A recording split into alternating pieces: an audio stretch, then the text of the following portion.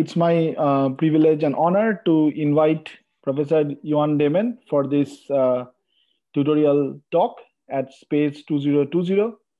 So um, just to, you know, like, I mean, Professor Daemen needs no mention. So, but still just to introduce formally, uh, uh, you know, like after graduating in electromechanical engineering, uh, Professor Joan Daemen was awarded his PhD in symmetric cryptography in 1995 from KU Leuven, Belgium. After his contract ended at COSIC, he privately continued his crypto research and contacted Professor Rijmen Vincent to continue their collaboration that would lead to the famous Rijndael block cipher that is right now standardized by NIST as, as we all know as the AES standard or the advanced encryption standard. After over 20 years of security industry experience, including work as a security architect and cryptographer for ST Microelectronics, he is now a professor in the digital security group at Radboud University Nijmegen in uh, Netherlands. He co-designed the Keccak uh, cryptographic hash function that was selected as the SHA-3 hash function standard by NIST in 2012 and is one of the founders of the permutation-based cryptography movement and uh, co-inventor of the sponge, duplex, and Farfalle uh, constructions. In 2017, he won the Levchin Prize for real-world cryptography for the development of AES and SHA-3. In 2018, he was awarded an ERC advanced grant for research on the foundations of security in symmetric cryptography called ESCADA and an NWO top grant for the design of symmetric cryptography in the presence of efficient multipli multipliers called scalar. So this is a very uh, brief, I would say, summary of you know like of the contributions done by Joan, and uh, I would um, rather say that uh, uh like on a personal note, uh, in 2008, Vincent visited us, and it was a long cherished dream of us that uh, Joan will also visit our place at IIT KGP, but it seems that we have to still wait a little bit longer. But uh, meanwhile, this is the best that we can arrange for all of you. So uh, the floor is all yours, Joan. So. Okay. Thank you, uh, for this nice introduction. Uh, can you all hear me well? Yes? Yes, yes. Okay, so um, I will give a tutorial on deck functions. And uh, functions are something that um, would replace block cipher. So current uh, symmetric crypto is uh, mostly uh, defined around block ciphers, not completely, but uh, it's really very strongly block cipher oriented. And uh, this is a kind of an alternative for that. And we've presented it up to now um, more like um, permutations, but actually at the level, uh, block cipher and permutation you cannot compare, but the deck function and a block cipher you can compare. I hope it will become clear uh, during the uh, tutorial what a deck function is and how these things compare.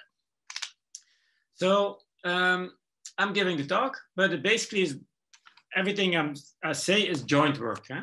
Most of it is joint work um, with the, the Keccak team, which um, contained from the beginning uh, Gilles Van Assche and Michaël Peeters, somewhat later Guido Bertoni, and even later Ronny Van Keer and even later Seth Hoffert. And also Bart Mennink has contributed to uh, quite a number of things.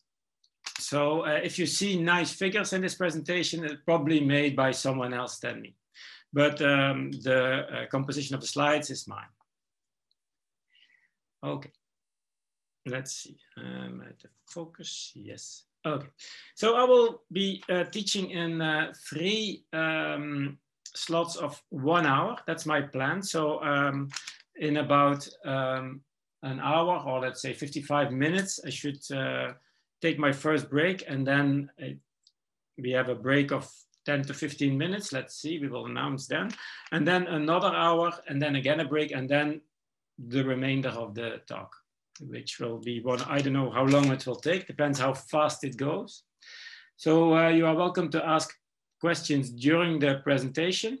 And uh, the questions will be moderated by Debdeep. So Debdeep will keep an eye on the questions and warn me if there is something. Okay, so this is the overview, but it doesn't, it's not really useful to discuss it now because you don't know the terms yet. So let's go immediately into the introduction. And um, I want to talk about symmetric crypto. It's about symmetric crypto and it's about keyed symmetric crypto. So in symmetric crypto, you also have hash functions. This is out of scope of this presentation. So we did a lot of work on hash functions, of course, in the Keccak team with SHA-3, but that is not the scope of this presentation. And um, in symmetric crypto, in keyed symmetric crypto, that's basically you got encryption and you have authentication. And uh, nowadays, that tends to uh, come together in authenticated encryption. So that's now seen as um, the real useful uh, building block, the real useful uh, cryptographic scheme, symmetric cryptographic scheme uh, that can be used in a real world is authenticated encryption. And what is authenticated encryption? Well, it's in fact the conversion of a message that contains plain text to a cryptogram where um, when Alice sends a message to Bob, she first converts it to a cryptogram and uh, Bob converts the cryptogram back to a message and access to the cryptogram does not give access to the plain text in the message. And also the cryptogram contains uh, redundancy, typically a tag that does not, that prevents um, an um, intermediate party to change it. So uh, more exactly, a, a, message contains a plain text, that's, that's the part that will be encrypted, and some other data. And that's called associated data. And this associated data, let's say, if you have an email, huh, the plain text would be the content of the email and maybe also the subject, but the associated data would be um, the address of um, the, the destination, for instance, yeah? or the address of the sender, or maybe uh, some other uh, kind of metadata that you don't want to encrypt, but you still want to protect. So what is the point? Well, um, the plain text is encrypted, uh, but the both are authenticated. So the associated data and the plain text are both authenticated. So how does that work? Well, you got here this building block. That's the encryption building block. Takes the message consisting of associated data and plain text, and it converts it to a ciphertext and a tag. And this together, the ciphertext, the tag, and the associated data, we call the cryptogram. Yeah? And that will be sent over the communication line. So when you encrypt, you use a secret key. This secret key stays at Alice and this is Bob, it also stays at Bob. So they share a symmetric key. How that is done, well, that's key management. You can do that with public key crypto, but you can also do that with manual methods. That's out of scope. So we always assume that the key is already in place. Now, if you have a situation where Alice may encrypt multiple messages that are the same, huh? uh, then you will get, this is a deterministic function. So that means this is fully specified deterministic function. So if you get the same input and the same key, you get the same output. And to prevent that, we have here an additional auxiliary input, and that's the diversifier. And it's often called a nonce, but a nonce is more like an adjective. This should be a nonce, but by calling it nonce, it uh, kind of makes it confusing because you think it is unique, but you have to, as a user, as a implementer, you have to ensure it is unique.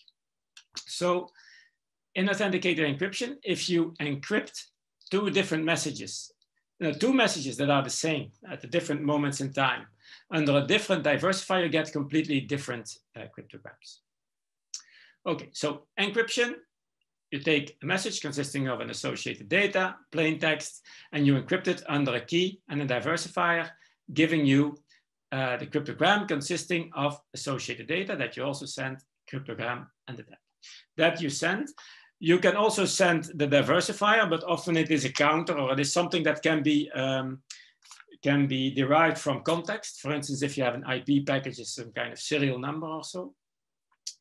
Okay, and then when Bob receives this, he has to present this to his decryption module, to his decryption device that has the same key, that requires the same diversifier, and he presents all three components. So the associated data again, the cryptogram, and the tag.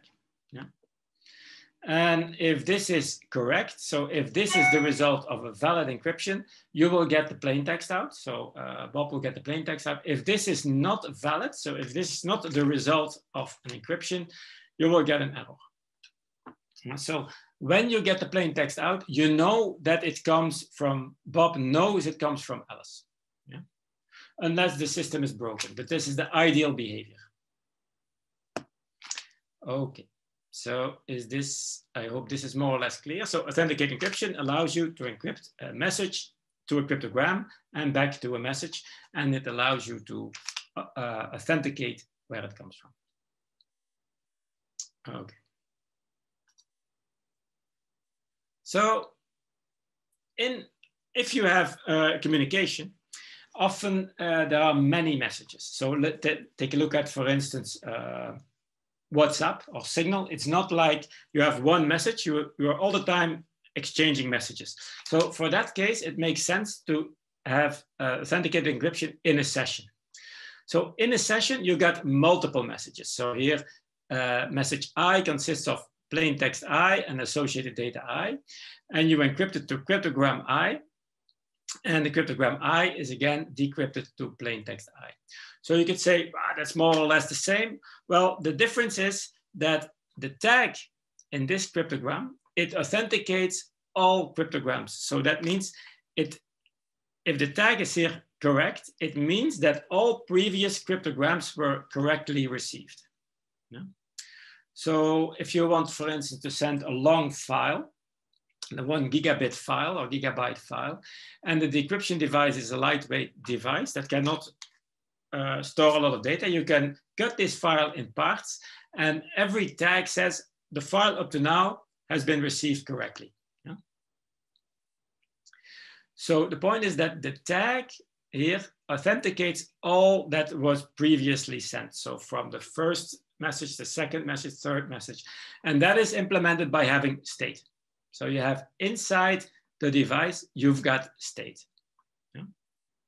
And this state basically is um, an encoding of everything that was, was sent before. And as long as it is hard to generate collisions in the state, it is a unique representation of all messages that came before.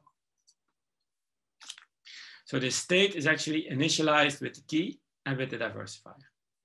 So that's session authenticated encryption. So a normal authenticated encryption you could see as a special case of session authenticated encryption where you only have one message and then you stop. Okay, so this is the functionality we would like to realize. We would like to implement in a secure way. Is that um, understandable? I see nobody complaining, so I assume it's okay. So how are these things built? Because there are many, many authenticated encryption schemes. Take a look, for instance, at the CAESAR competition, a NIST organized competition for finding uh, authenticated encryption schemes. There were, I think, over 50 submissions. And now also in the NIST lightweight uh, competition, there, also, there were also, I think, 60 or so submissions, also all authenticated encryption schemes. So what is the typical, what was the typical way to build it, let's say a few years ago? You build it actually in two layers because building such a system in one go is kind of complicated, but if you split it into sub-problems, it becomes easier. And the first sub-problem is to build a block cipher, an n-bit block cipher. So a block cipher is actually a permutation parameterized by a key and um, for every key, it should be like a kind of different permutation. And if the security goal is that this permutation for someone who doesn't know the key, yeah? so let's say we got an adversary that is faced with this block cipher that is loaded with a given key. He can make queries. He should not be able to distinguish that from a random n-bit permutation, where n-bit is the block size of the block cipher. So we can say, yeah, encrypt me the all zero string. And he gets it back. And then he says, encrypt me uh, the all one string or encrypt me the string one, one and all zeros. And he will, he can now make a number of queries. And then he um, has to make up his mind whether it is a random n-bit permutation selected from the space of all possible n-bit permutation or a block cipher with a given key. And um, the um, success in uh, in uh, distinguishing this, it's called the PRP distinguishing advantage of a block cipher. And the PRP distinguishing advantage is something, it's a quantity epsilon p that ranges between zero and one. So it is, uh, when it's zero, it means the block cipher is perfectly secure. And if it's one, it means that it's perfectly broken, completely broken. And anything in between is like, yeah, that's a measure then of security. And we assume that this advantage is small. But this advantage is not absolute. It depends on two uh, parameters, sometimes even more, but I mention here two. And M is the data complexity and N is the computational complexity. So M, for instance, is if you can query the block cipher or the permutation uh, a million times, then M is a million. And N is the amount of computation you can do. So for instance, if you have uh, a block cipher with a 64-bit key, then you can always distinguish it from a random permutation by exhaustive key search over 2 to the power 64 keys. And you just try all keys. You can always do that, but if, if the key size, uh, the key space is too big, it, it's not uh, feasible. And the bigger the key size, the smaller disadvantages. So there is one, on one hand, there is exhaustive key search, but there is also cryptanalysis. Maybe you can break the cipher easier or with less effort than exhaustive key search. So we cannot prove, at least not up to now, we cannot prove a block cipher to be secure. So we cannot prove an upper bound on this advantage. What we can do is, if we publish a block cipher, we can um, at the same time publish a claim of security. And that's uh, we say the distinguishing advantage is not larger than, and then you give some given expression. And then it is up to cryptanalysts to uh, try to find attacks that break this assumption.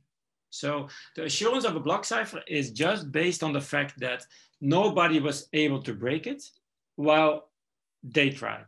And so if you look at the DES, DES was published, uh, I think, uh, somewhere in the 70s, 77 or so and it increased its security reputation over the years. So in the beginning, yeah, came from more or less NSA, so why trust it? But over the years, there was more and more cryptanalysis, and its reputation grew and grew until uh, early 90s, in 91, I think, or 90, when differential cryptanalysis broke DES. And later, linear cryptanalysis broke DES again. Uh, so that was kind of a big blow for DES uh, because there were actual attacks faster than exhaustive key search. For AES, we see the same happening. So we see that uh, in the beginning, there was not so much trust, but now um, about, um, let's see, AES now 22 years ago, it was uh, published, at least Rijndael was published, Vincent and I published Rijndael.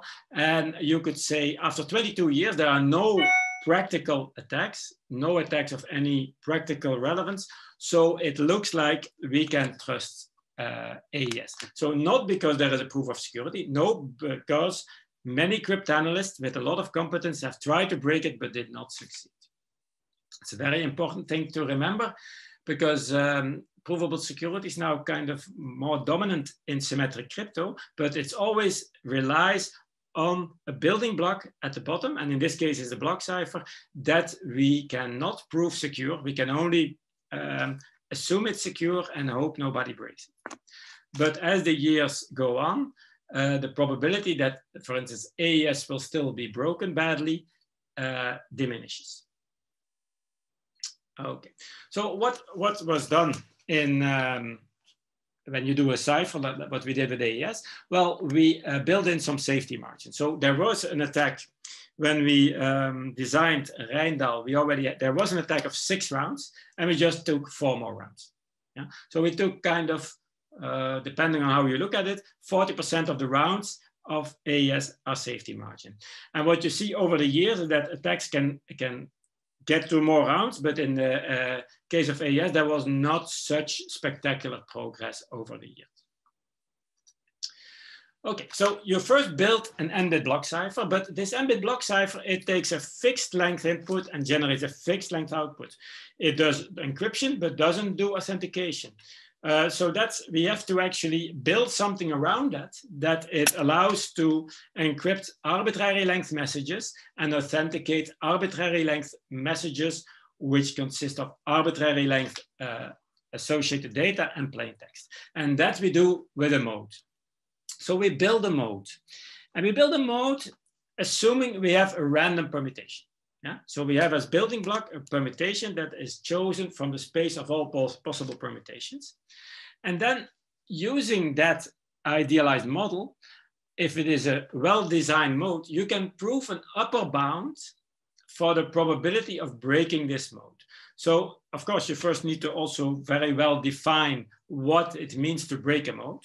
For instance, breaking a mode would be to find out something about the plain text given the ciphertext, or to do a forgery, meaning to um, generate a message that will be accepted by Bob, even if Alice didn't send it. So that's often uh, there are definitions for this, so we don't go into detail about that. But you can actually, if you build a mode of an idealized component, you can prove an upper bound of this um, probability of breaking it. Yeah, that's possible. And that's the whole field of provable security that is concentrating on that. And then if you have this, sorry, if you have this bound, and you can make an assumption about this. So this is not proven, this red. This is just assumed, but based on cryptanalysis. And this is proven. Then you can actually, it follows immediately from that that the probability of breaking this mode where you plug in a block cipher. So you build a mode on top of a random permutation, but you plug in the block cipher where the random permutation is, you're replaced by a block cipher. You can actually it's, it's not a proof, it's immediate that the probability of breaking it is the sum of these terms. Yeah? And that gives you a, a kind of a, a, security guarantee, where the guarantee is here it's absolute, it's fully absolute, you have a proof. Here it's not absolute, it's built on public scrutiny. And this is also often um, referred to as the standard model. The standard assumption here is that the PRP distinguishing advantage of the block cipher is assumed to be small. Okay, so that's what we used to do. And that's really the, the, the dominant way of doing symmetric crypto. It has it's still uh, in many uh, places is now, and it has been like this for the past 25 years. So block cipher-based crypto is very successful, but there are a number of challenges it had to face, and they have become very apparent in the last few years. Uh, the first challenge is that the computer scientists that do these proofs, they often, they have tripped over the complexity of the modes. So this means errors in security proofs or oversight. For instance, there was uh, just uh, uh, one year ago, a little, I think two years ago, there was a um, very remarkable thing. Uh, so there is a very famous uh, authenticating encryption mode called OCB. And there is a proof of security. But there is an instantiation of OCB called OCB2 that was the most, uh, let's say, um, the instantiation that was put forward by the authors. And it did not satisfy the conditions um, that were needed for the OCB proof to be valid. So they used certain components that did not satisfy the conditions. Um, of course, errors can uh, occur but this error was uh, undiscovered for, I think, more than 10 years. So that's a very bad thing. So we had a proof of security that was actually incorrect for OCB2. Then there have been other things like the GCM SIV uh, was a mode that was a few years ago proposed in the context of um, TLS 1.3, I think that was the, the reason that CFRG. And um, there were also several errors that were dismissed as typos by the authors of the proof. But the problem is that the mode is so complicated that it's hard to make uh, errorless proof. Still possible, but it's hard. So um, another thing is the birthday bound. So actually, um, if you know the birthday paradox, uh, the fact that in uh, uh class uh, of uh, 22, 23 people, the probability that two people have the same, two kids have the same birthday is close to a half. Well, actually you also have that when you have a block cipher based mode. Well, if the number of block cipher calls you do um, with a given key approaches the square root of the uh, possible input space of the block cipher and the possible input space has size 2 to the power n because uh, the block length is n Uh, so there are 2 to the power n inputs. Well, if it approaches the square root of that, and that's 2 to the power n over 2, then security collapses. So these uh, security proofs, these, these bounds given by the security proofs, they um, uh, collapse then. Yeah? So is that a problem? Yeah, it is a problem for DES or triple DES. That's still used a lot in the banking world nowadays uh, because um, 2 to the power n over 2 is 2 to the power 32 blocks. And that's only 32 gigabyte. So it's, it's a big amount of data, but it's not, um, it's not uh, uh, unrealistically much. And uh, there have been very interesting papers written about that. I invite you to take a look at uh, this site, which uh, uh, speaks about attacks that have a real world impact based on the short block length of DES. For AES, it's not really a problem because it has a block length of 128 bits. So, but there, the fact that uh, you can only get security up to the, to the power 64, it stands in the way of claiming 128 bits of security. You cannot say we achieve 128 bits of security if there is an attack that uh, after 2 to the power 64 queries um, uh, breaks down. So where the security breaks down. And then the third problem is that block ciphers, they don't really address the right design goals. What do I mean by that? Well, if you look at modes nowadays, uh, the most of the new modes do not make use of the inverse block cipher. So a block cipher, you can actually, it's a permutation and you can encrypt by presenting it an n-bit block and you get an n-bit block ciphertext and you can decrypt that. And for that reason, you um, need to make the inverse of the block cipher efficient. But modern modes don't use it. The other thing is that a block cipher is built to be hard to distinguish from a random permutation. So that's the PRP. This SPRP, I will not go into that now, what it is. It's also, it's a variant of that, but it's still a permutation. While most modern modes, they need PRF. Uh, that is the uh, hardness to distinguish from a random function. So a permutation is invertible, a function isn't. And um, finally, the modes are rather complex because of the fixed block length.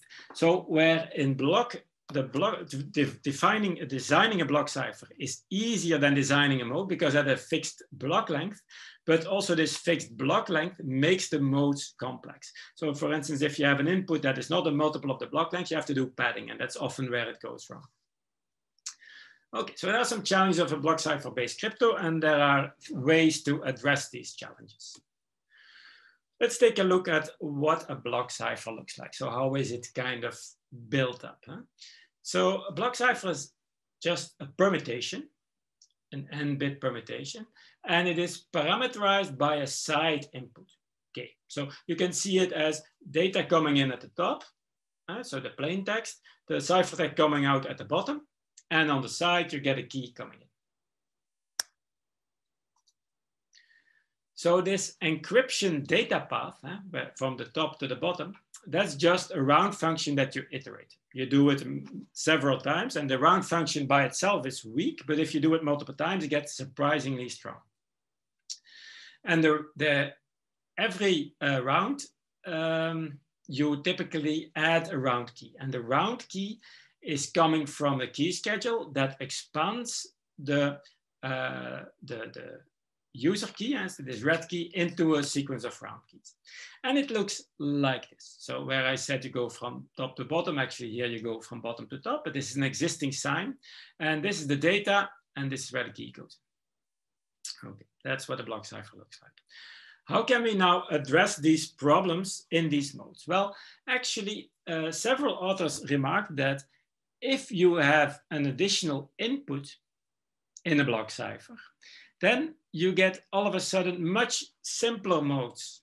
You can actually um, uh, prevent a lot of the problems of the modes using this additional input. And this additional input is called a tweak. And it was originally uh, defined, tweakable, it's called a tweakable block cipher, a block cipher with an additional input that is called a tweak. It was originally designed for um, memory encryption.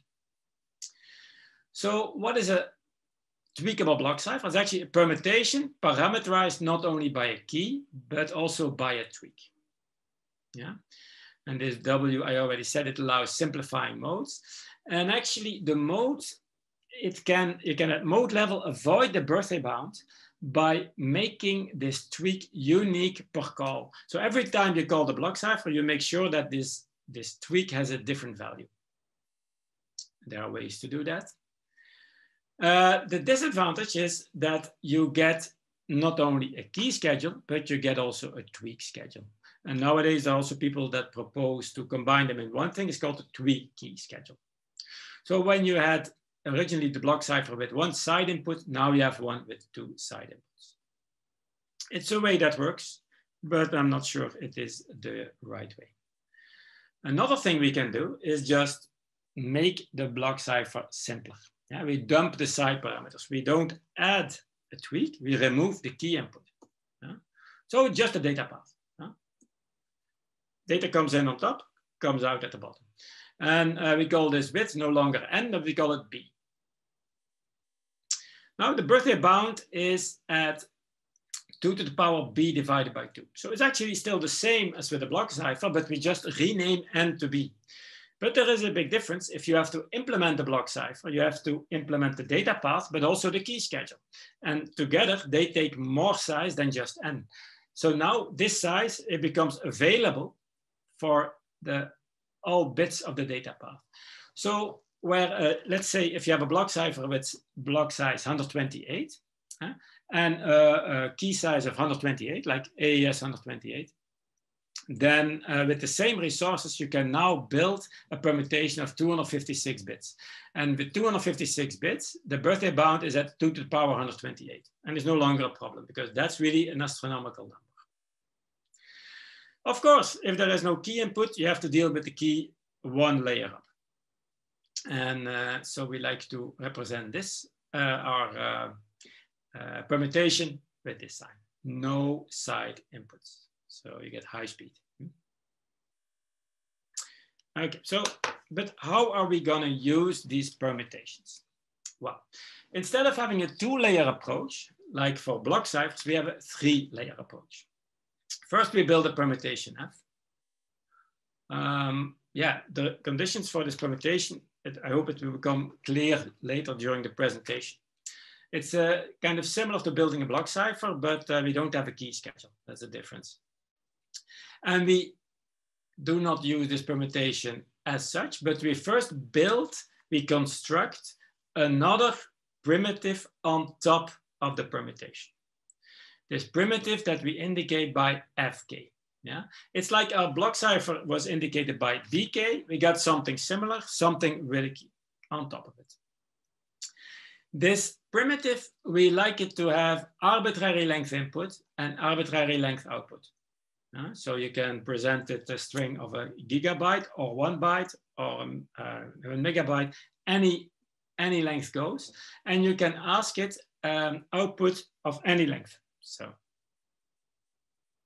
so very unlike a block cipher where the input and output length are fixed. Yeah? Here it is arbitrary. And the goal is that this fk should be hard to distinguish from a random oracle. So a random oracle is a theoretical concept that um, is a function, a deterministic function that generates, when it's presented two times the same input, gives two times the same output, but it will always give completely random outputs for different inputs. Yeah? Even if you have two inputs that are differ only in a single bit, you will get outputs that are completely unrelated. So that means that if you have for a random oracle the output corresponding to a high number of inputs, and then you're asked what would be the output corresponding to this new input, you would not be able to predict. So fk should be hard to distinguish from a random oracle, again, quantified by a bound on the distinguishing advantage. So we have this epsilon again. And how are we gonna know whether our function fk will be okay? Well, it's gonna be based uh, on public scrutiny. So where a block cipher, you cannot prove it's secure, you can only base it on public scrutiny. Also, this, this primitive will be uh, the basis for public scrutiny. It's not the permutation, that's public scrutiny. No, it is this primitive. Yeah, very important. So the equivalent in permutation-based crypto or deck function-based crypto of the block cipher is this thing, this FK, and is not the permutation. This is just a building block of this. You can actually see in the block cipher, there are also permutations that are building blocks, like the round function is a permutation, and the key schedule often is also invertible. Okay, so first step, build a permutation. Two step, second step, we build a new kind of primitive. That will be the subject of public scrutiny. Third step, we build a mode of a random oracle. Yeah? And often, if you use a random oracle as input, it's so strong that proving the security is almost trivial. Yeah, we have actually, we are currently in the process of doing that. We have most effort spent on um, uh, formalizing the ideal behavior, but then the proof for security is almost trivial. And the security of a mode of such a function, yeah, of this mode where we plug instead of the random oracle, we plug this FK, is again the sum of these two um, probabilities. This is the probability that you would be able to break given some resources, M and N. So the number of the data complexity or the number of queries you can do and the computational complexity or the number of computations you can do, the probability that you can break the mode with a random oracle. And this is the um, advantage, uh, the claimed advantage of distinguishing FK from a random oracle. This is proven, this is claimed. So we see actually it's the same as a block cipher based mode, except instead of having here at this level a block cipher, we now have this function fk. And this function fk, that's a deck function. So this is a deck function. So the deck function takes the place of the block cipher in permutation-based crypto. Okay. Let's define it a bit more formally, how we as Keccak team uh, see the deck function. The deck function, deck stands for doubly extendable cryptographic keyed function. Now, it's a bit strange this order, but that's also to make it match with the letters. Huh? You see deck. Um, it takes as input not one string, it takes as input a sequence of strings. Yeah? So each of these xi is a string. So this means this fk will absorb first x1, then x2, x3, and so on up to xm. So it can be any number of strings. And um, this, uh, so the separation between the strings is used in the input. So that means if you have a string 1, 1, followed by a string 0, 0, that's different from a string uh, one followed by a string one zero zero. So these limitations, they play a role in uh, the output. So this is the function. In principle, this function generates an output of arbitrary length. So we indicate in our notation how many bits we use by adding it always to something. So this is a bitwise addition. And this we add it to a string of n zeros. So this means we take here n bits of the output. So we absorb in the deck function this sequence of strings and we take n bits out. And this means we don't take the first n bits, but we first skip the first q bits and we take then n bits. So that's the notation. And this you can see as this represents the output of the function and this represents the right shift. Uh, left shift, sorry, and you shift out the first bits, and then you take the n first bits of it. So it's a bit a strange notation, but for us, that's been very useful. And so the input is a sequence of strings. The output is potentially output uh, uh, uh, infinite, and it's n bits starting from offset q. So it's pseudo-random, so that means for two different inputs, you get completely unrelated outputs. And uh, that is not proven, that is claimed. So that's like behavior like a random oracle. So this is the interface. And so this is the interface of the function, but we have also two more uh, requirements on the behavior. First of all, it should be efficiently incremental on the input, which means that if you first compute fk of x of a string, and then you compute fk of x followed by y, to process this y, it comes at a cost independent of x. And that for each sequence. So that means you kind of keep state and you can just uh, stop the computation at some point and continue later, and you don't have to reiterate the beginning. Extendable output is similar. Um, if you request a number of bits from the offset zero, then later you can request uh, some more bits from offset n1. You are just interrupting you. I mean, there are a couple of questions which maybe okay. you would like to take, take here. That's good point. Yes, yes. So, yeah. So one question is like, uh, why proving with RO is easier to prove with PRP or PRF? Sorry? Uh, there is a question which says uh, in the Zoom chat, which says like, why proving with random oracles easier to prove with PRP or PRF? Um, yeah, I will give, uh, I will show you the examples later. I think that becomes clear. So the problem is, first, let's take a look at uh, counter mode. Uh, in counter mode, um, you uh, basically take a block cipher and you present it with a sequence of, with a counter. So first, the first key stream is generated with counter one. Then the second key stream block is presented with counter two and so on. So if you, um, the ideal uh, for a counter mode encryption is also a random oracle. So you should generate an output stream that is uniform. But if you um, do counter mode, let's say with uh, DES, um, you will start noticing after you've done uh, 2 to the power, uh, more than 2 to the power 32 uh, blocks like that, you will not have two times the same 64-bit block because it's a permutation, and that's PRP. Uh, if you would have a PRF, you would have uh, collisions. And in um, random oracle, you would also have collisions. So the absence of collisions there puts a limit on that. And that you start noticing after uh, when you reach the birthday bound. So in the case of um, um, counter mode, it's really what you want is PRF, uh, while PRP uh, is what you got. I don't know if that uh, gives a good example of uh, a mode where PRF is more useful than PRP?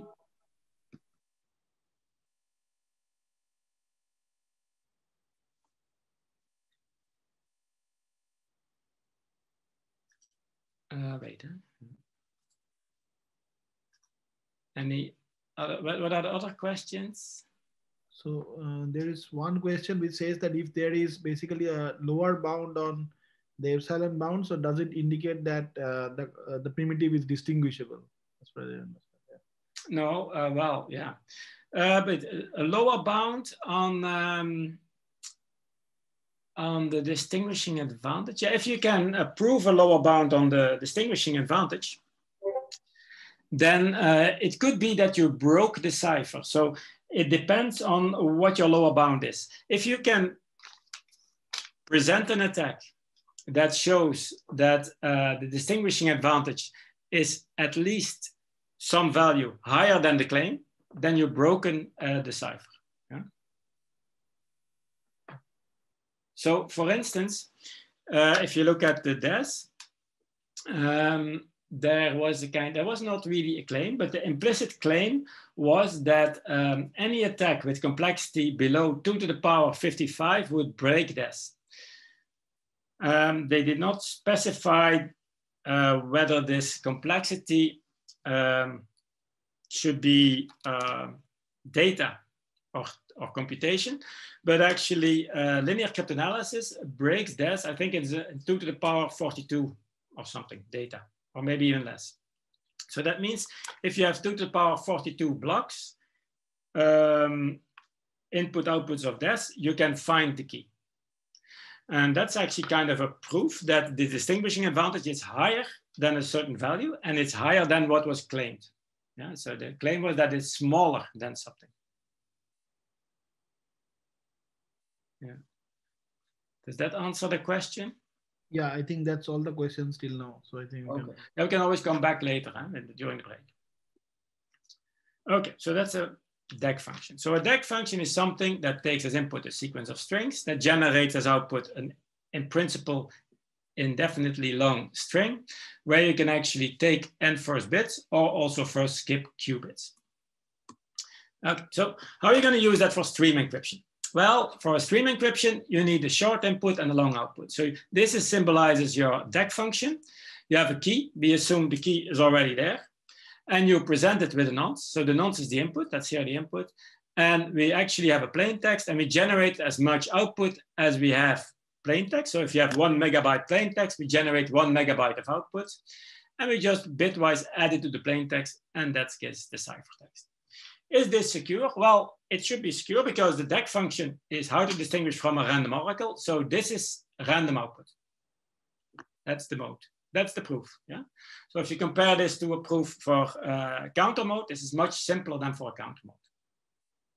Simply because in counter mode, we of a block cipher, we have to construct our output sequence by doing multiple block cipher calls. And here it's all hidden inside this function.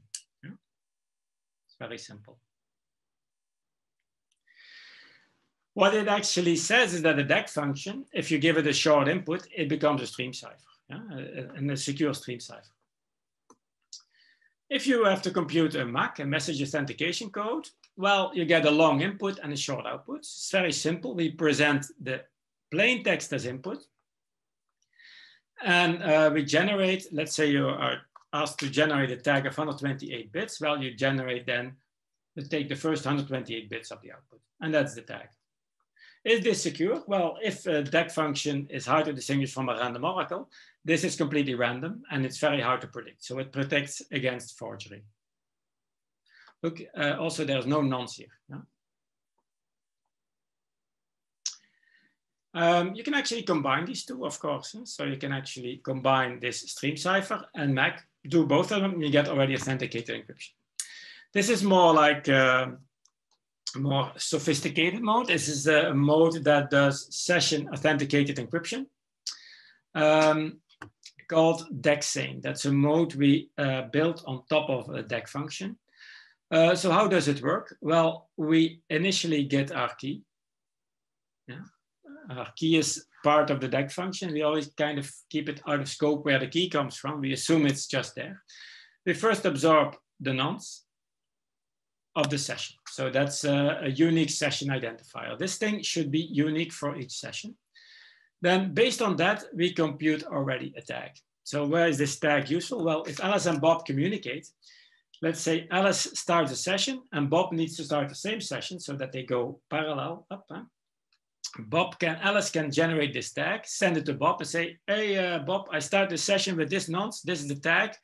Um, and then Bob can already verify if this nonce is exactly the one that Alice used. Yeah? So they kind of have a confirmation that they start on the good footing.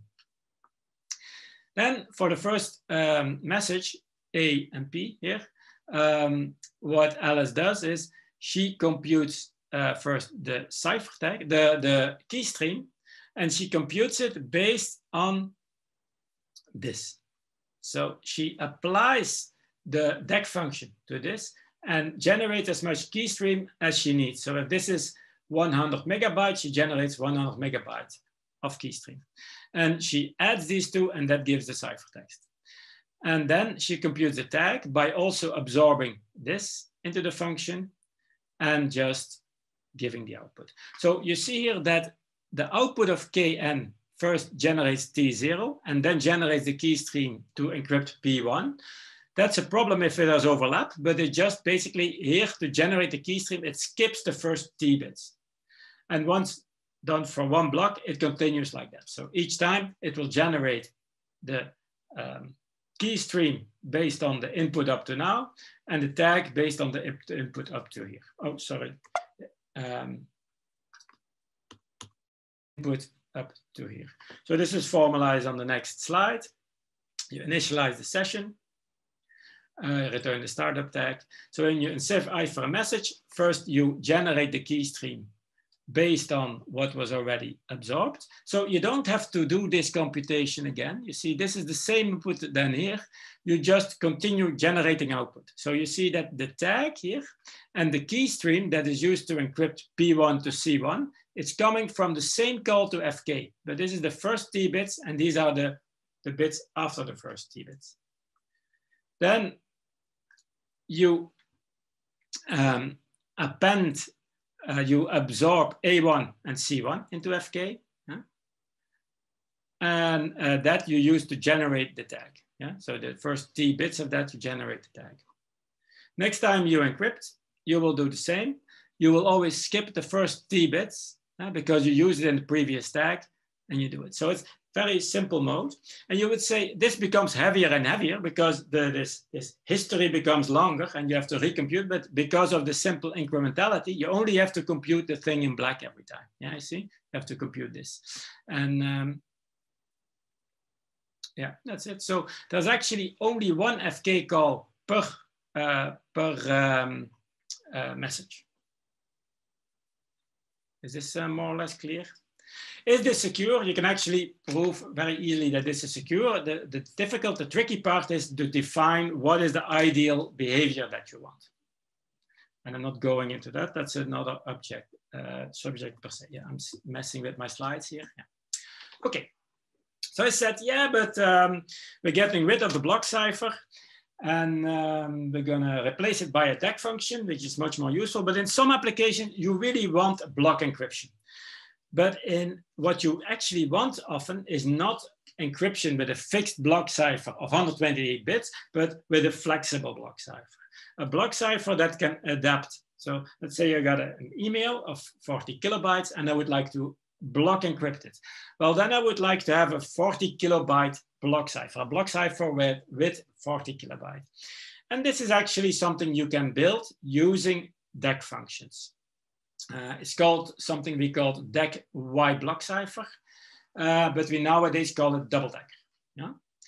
And uh, this gives kind of the schedule. If some, uh, those of you who are familiar with uh, DES and uh, triple DES, they will recognize this as a Feistel structure.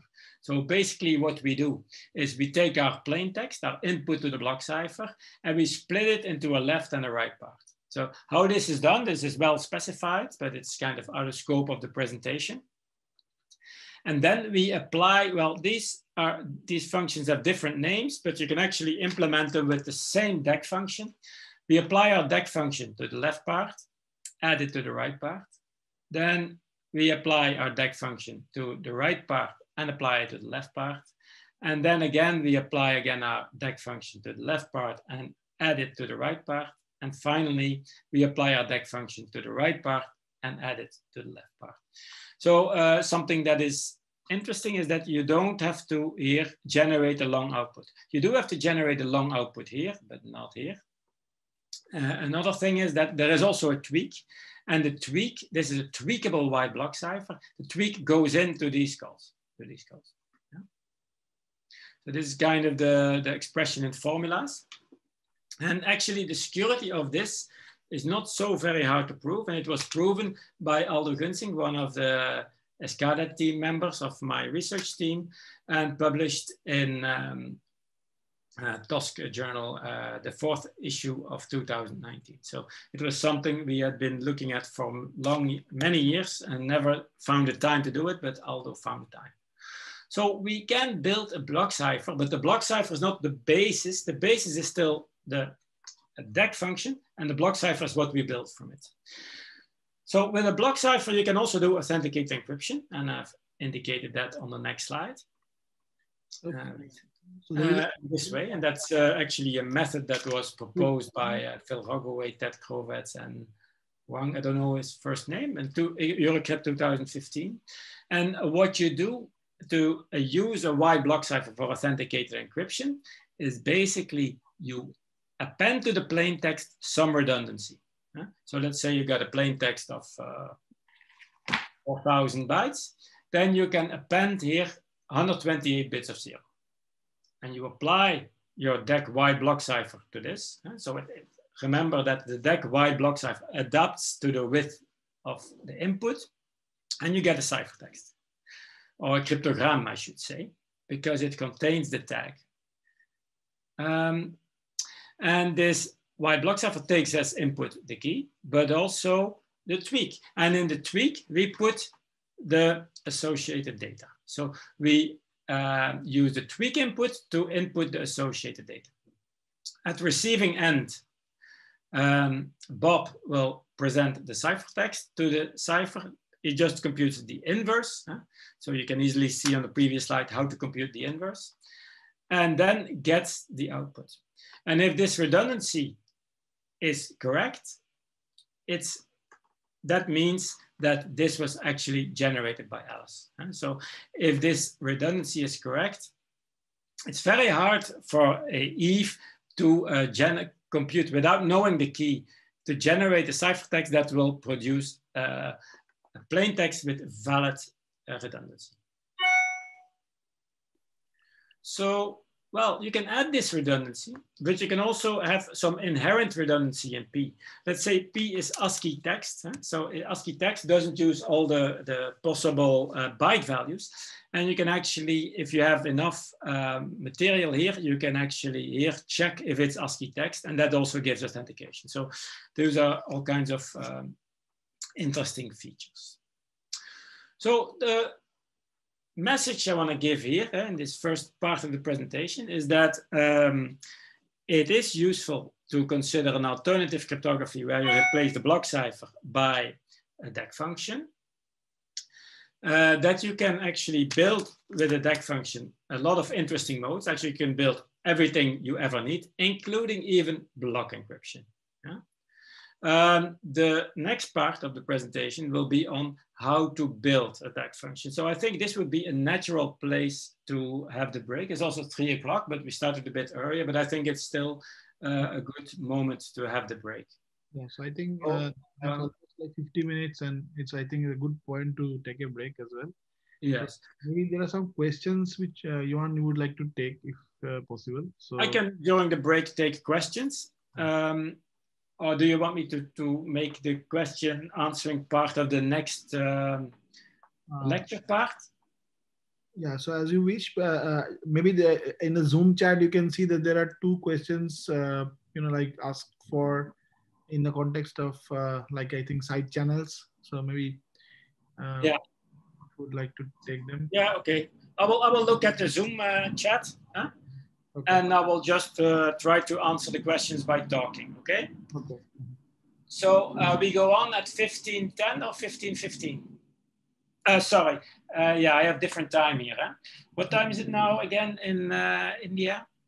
Yeah, India, it's now 7.32. Uh, so, yeah, yeah so we can take maybe a break here at continue maybe after 15 minutes, right? Yeah. So that would be like uh, we we continue maybe say from uh, uh, seven forty five. Uh, seven. Uh, if we take a fifteen minutes break, that would be seven fifty. Okay, seven fifty. Yeah, that's fine. Seven fifty. Okay, in the meanwhile, I will try to answer the questions, but just by talking. I'm not going to type them in. Huh? Right. Yeah. Sure. Okay. Um, can a deterministic authenticated encryption scheme be built on top of deck functions? I'm thinking here about security guarantees equivalent to those offered by, actually, this is what I, the slide I have open now, huh? slide 19, that's really robust authenticated encryption. This is deterministic. Anything actually that I present is deterministic. Yeah? So the only thing is that um, you can put in the diversifier or in the nonce, you can put maybe something random, but the, the, function itself is deterministic. And this thing, that is fully deterministic. Yeah. This is typically what they mean by SIV. So if in this case, you have the same key and the same associated data, you see there is no nonce here, the same associated data, different plain text will give rise to different, completely different ciphertext. If you have the same plain text, the same key, and the same associated data, well, then you get the same ciphertext. That's, that's always the case. So there is no randomness hidden inside in any of the schemes I presented up to now. There's also no randomness hidden inside the block cipher. So that's not different between uh, deck functions and block cipher. Um, let's see. Then, yeah. Is the addition of the increasing function calculation affect the time rate of encryptions? If yes, would this time difference make the functions open to a side channel attack? Yes, so side channel um, timing No, so I think timing, we just uh, basically, in all the constructions, we uh, base it on um, often permutations, up to now mostly permutations that uh, are bit sliced that have um, uh, computation time that is constant, uh, constant for the number of rounds. So there is no, uh, I think there's no risk for, for timing attacks. Of course, there is risk for um, um, DPA, so power analysis and uh, EMA. And that's every time you use the key. But then we have to look at the concrete construction. So up to now, the deck function is still a black box. We don't say what is inside, but that will become clear on the next uh, slides, what is inside. And there I can say more about it. So um, yeah, DPA, also fault attacks, of course, they are very important.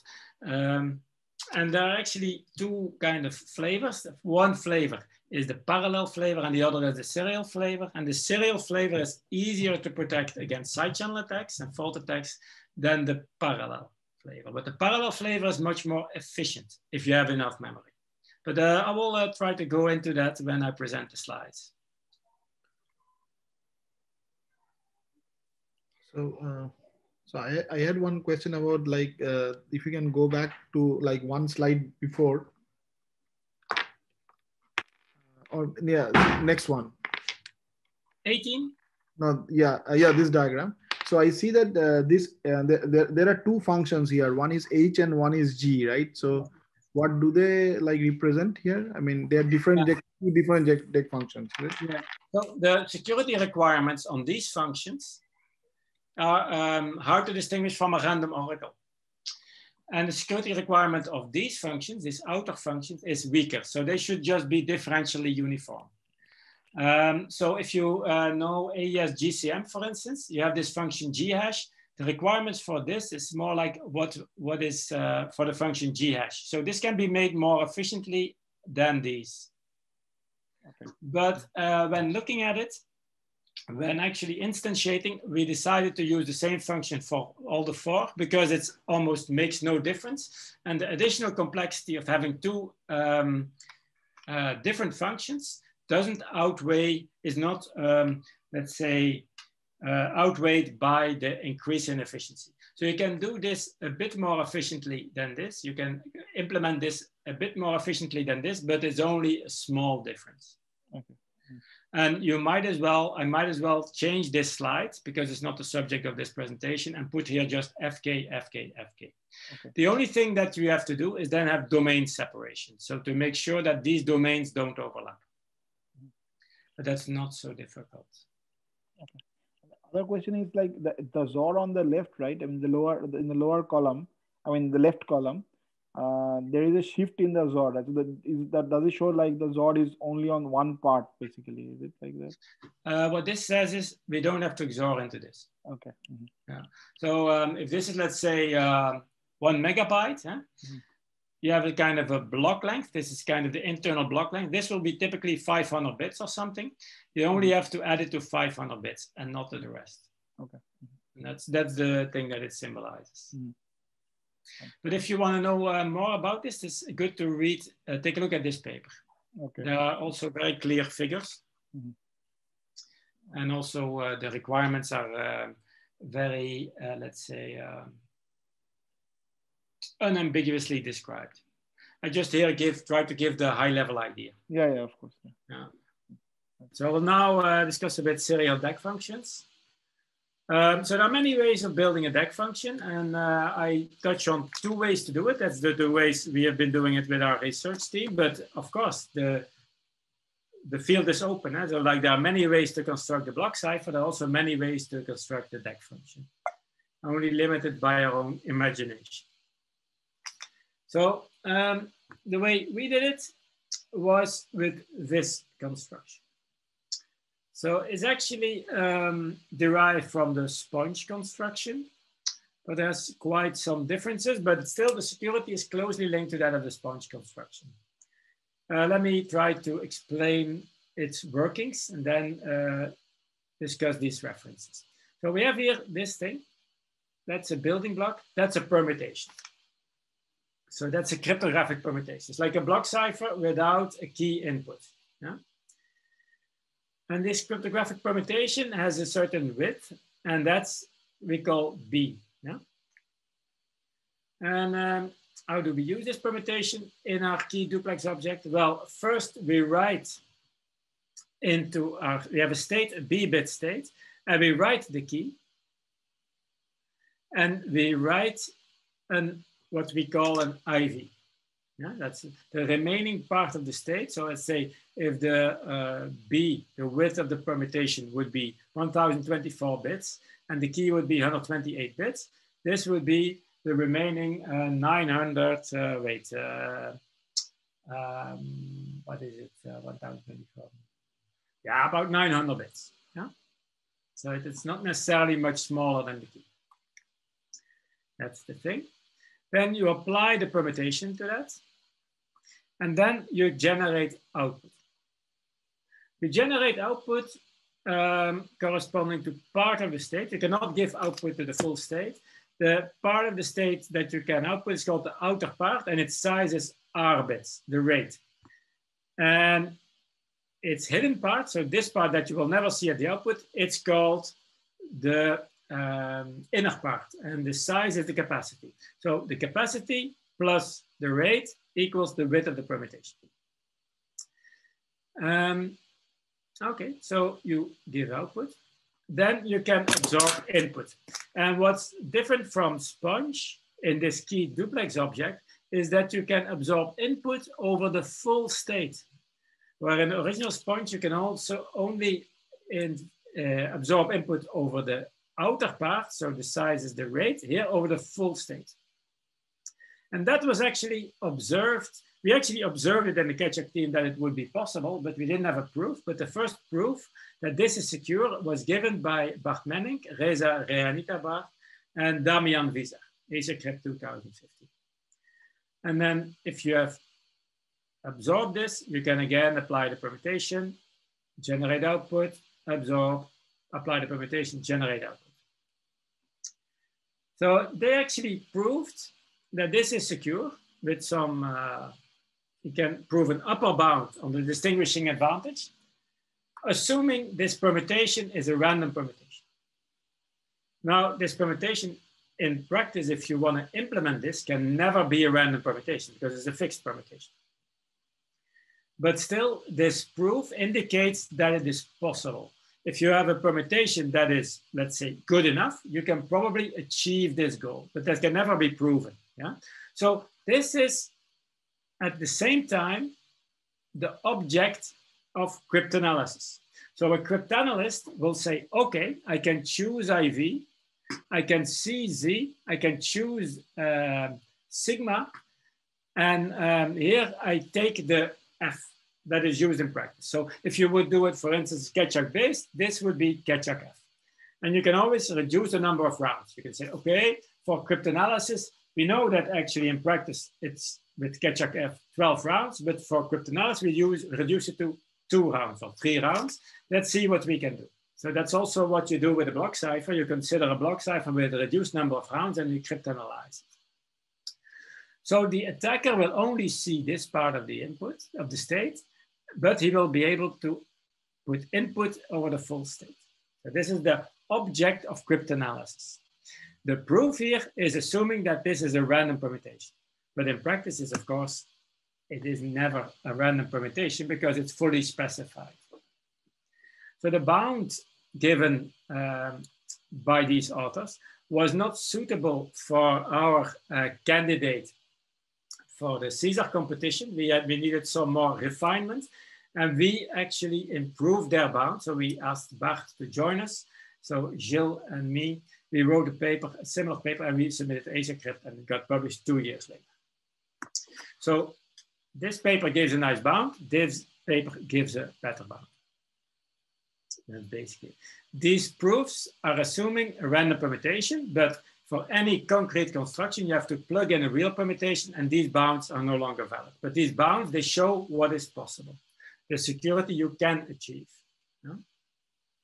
So you should not see this, these proofs at the same level as the proofs of um, a mode of a deck function. Because a mode of a deck function, there you assume the deck function is a random oracle, and that's an assumption you can make.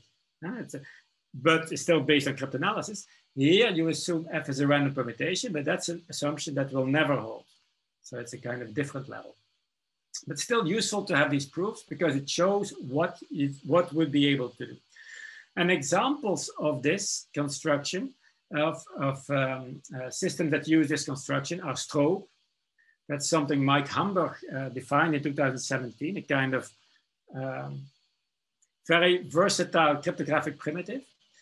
But also Xoodyak, our uh, submission to the NIST lightweight competition, and even Subterranean, um, also uh, a submission to the NIST lightweight competition that is based on very old work and is actually very competitive.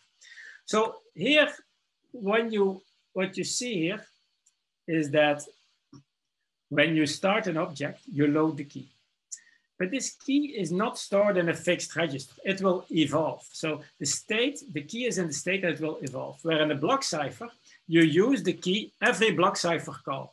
Here, for each permutation call, you, you use the key only once, only at the beginning. So that means if you can do here a long session every time, you can only attack in the first part of the session. Yeah?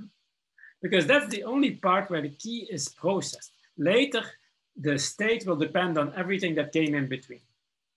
So in that sense, it is easier to protect against uh, side channel attacks because the key is processed less. So take a look at the block cipher. Block cipher uses the key every time. And actually each round uses the key. So one AES computation uses, uh, if you take a 128 bit key, it uses uh, 10 times all the key bits. Well, not exactly the same key bit, but there's a lot of overlap. While this permutation, it only uses the key bit at the input and it's immediately already being diffused. So the key is much less exposed than in a block cipher based mode. That's actually the answer to that. For uh, fault attacks, of course, you got also vulnerability. But here you can, for instance, say, okay, we're going to use a one-time key and we use it for one session. And every session we use a different key by having involved the key involved. Then you cannot do differential attacks because for a differential attack, you need two computations with the same key. But that's somewhat more tricky.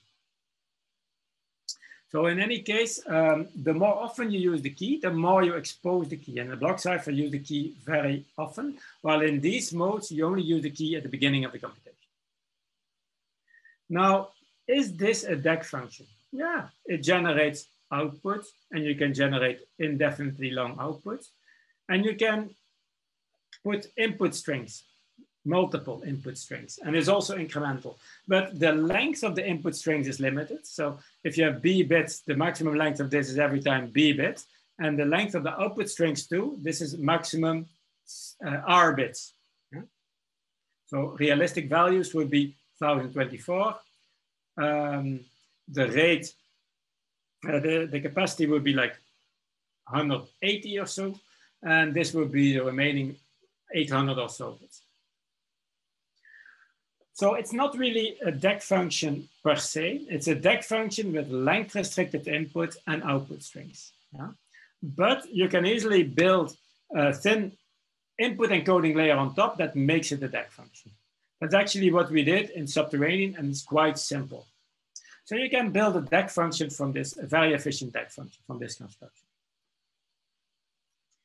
So cryptanalysis, as I said, you have to plug in the real permutation and try to break.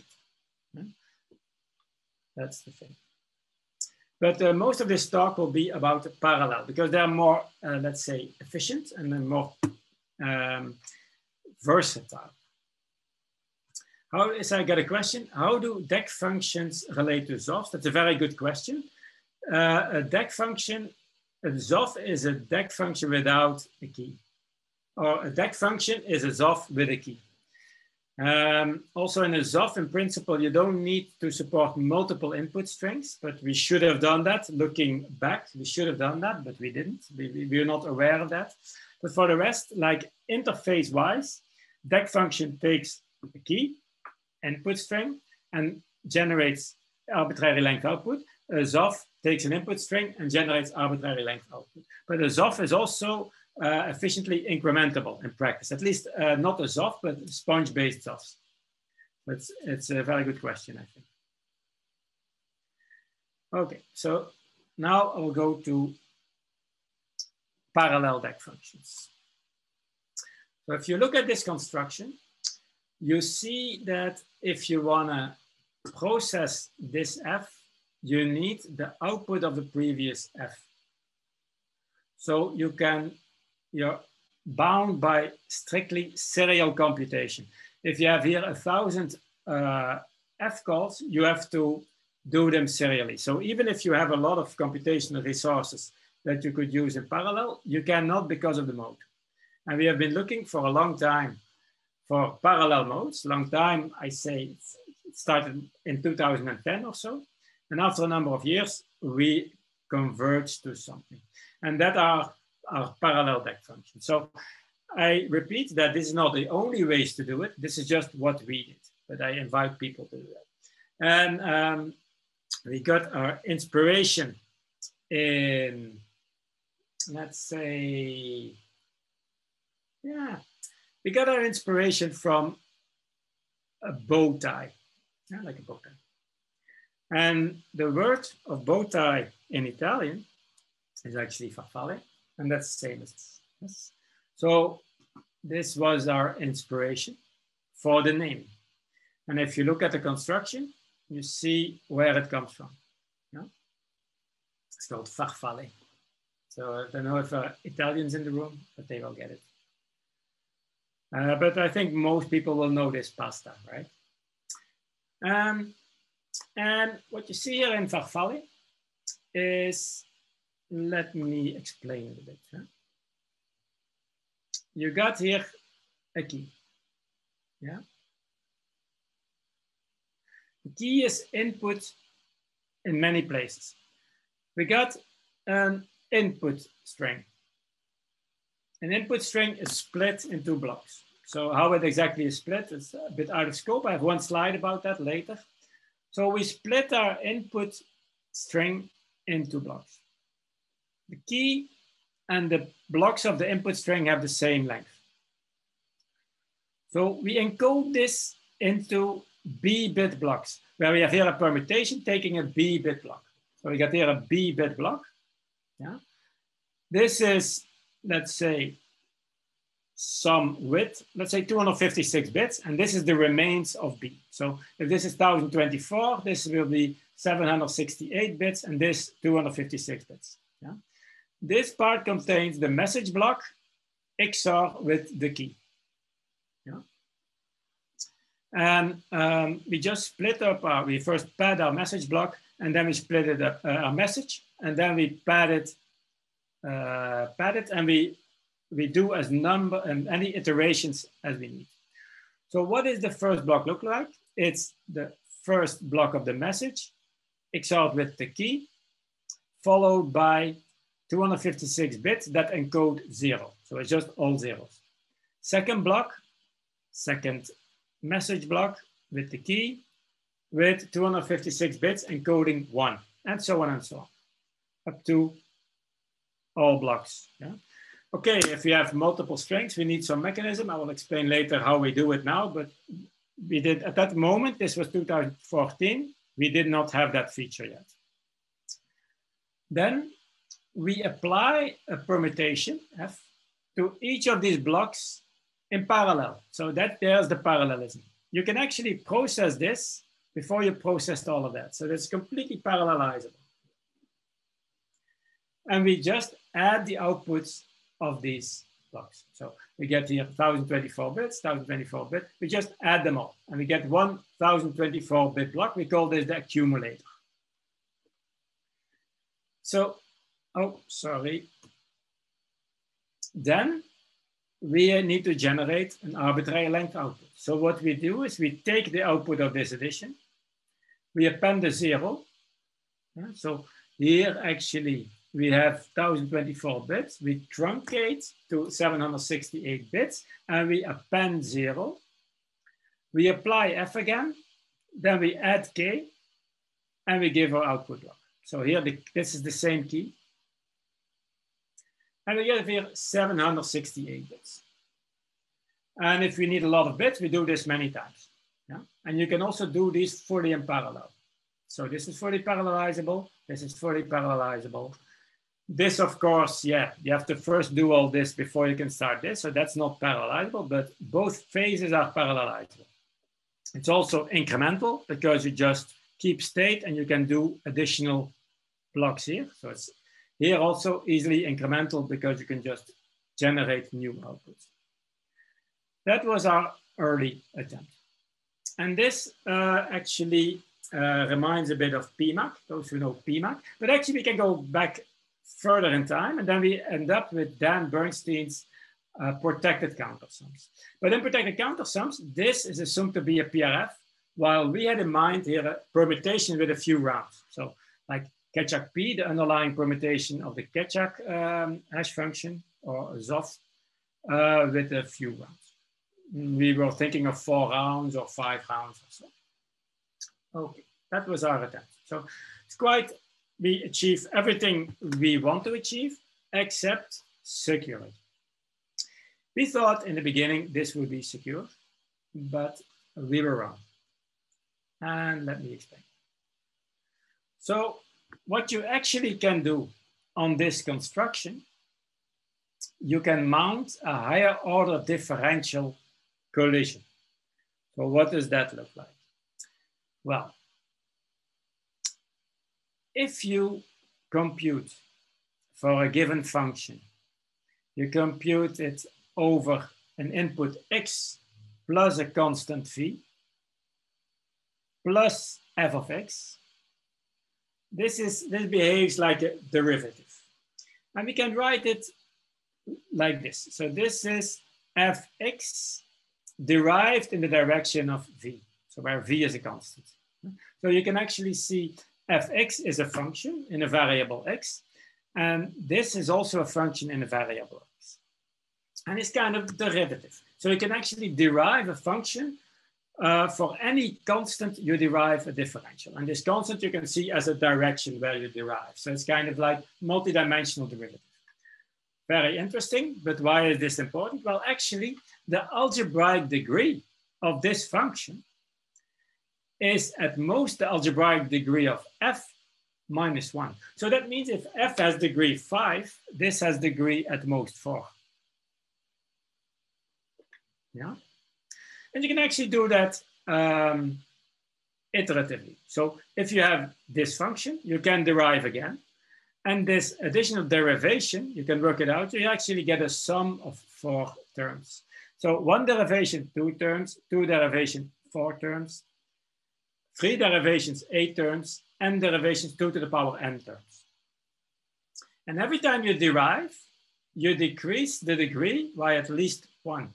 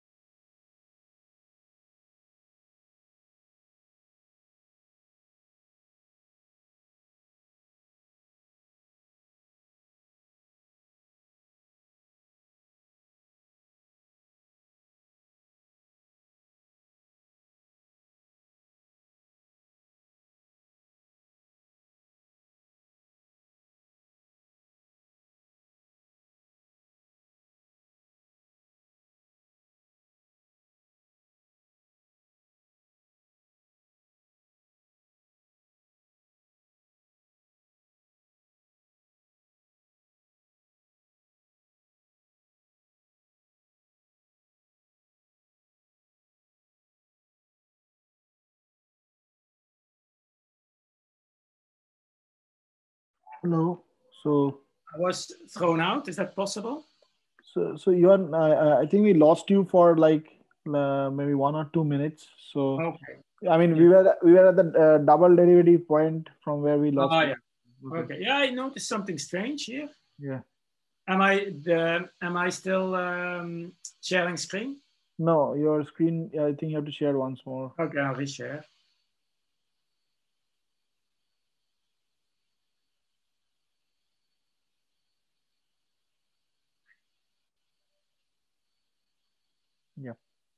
Okay. Yeah, perfect. Yeah, yeah I'm sorry, uh, something went wrong. So yeah, we can derive and deriving over a vector is basically evaluating the function in two points that have a distance this vector. Uh, that are, and you can derive twice. And deriving twice is basically doing the same operation twice, and you get four elements. And if you derive d times, you get a vector space. You have to compute the sum of the outputs of the function applied to inputs that form a vector space. And that's the point. Um, if you do that, then you um, the resulting function has an algebraic degree that is um, that of the original function minus d at most actually. So it gets decreased by d. Now, if we look at the function we had in mind here, let's say Keccak f with a fixed, with a small number of rounds, five or six rounds, then the degree of the resulting function, this Keccak f with a few rounds, is two to the power of the number of rounds because Keccak f round function has algebraic degree two. If you apply it twice, it has algebraic degree four. Three times algebraic degree eight, so it doubles every time. So for instance, five rounds, it only has degree 32. Now, you can actually um, compute the output over uh, a vector space of dimension 32. So that's 2 to the power 32 inputs.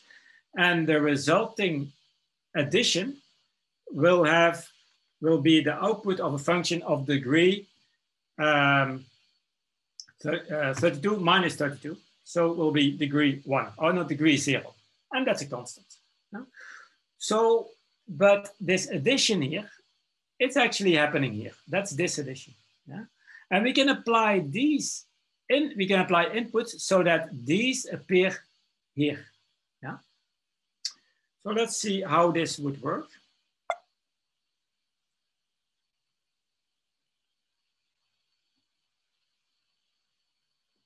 We can actually build from this a collision generating attack. So let's say we have f of five rounds. Yeah? Then we choose a message of 2 to the power 2 to the power 5 blocks. Yeah. That would be 2 to the power 32 blocks. That's a lot, but it's not like uh, uh, unrealistically many. So a message of 2 to the power 32 blocks. And we make sure this these blocks form a vector space. Well, this addition of the key, it moves the vector space to an affine space, but it's still valid. So it doesn't help. And also these encodings of these numbers, we use the very simple encoding, they also form a vector space. So we have actually here the sum of applications to, of F to input that form a vector space. So if our vector space is large enough, uh, to the power of 32, this is a constant. So whatever we apply here, as soon as it has, um, it forms a vector space of dimension 32, it will be independent of this. So it's easy to generate collisions. We can even build an n-fold multi-collision. We can just generate as many inputs of, this function of 2 to the power 32 blocks as we want that have all the same image. No? We can actually do better than that and peel off one round so uh, you don't, if you have here five rounds, you only need to consider messages of 2 to the power 16 blocks, it turned out. So analyzing this is actually, these attacks are practical up to six rounds. So we need to take for F six rounds. Um, even if we take this function F six rounds, we can uh, generate a collision um, with 0.5 terabyte messages. So that's a big message, but it's still, it's feasible. So that was very bad. And that's a weakness that is only dependent on this part.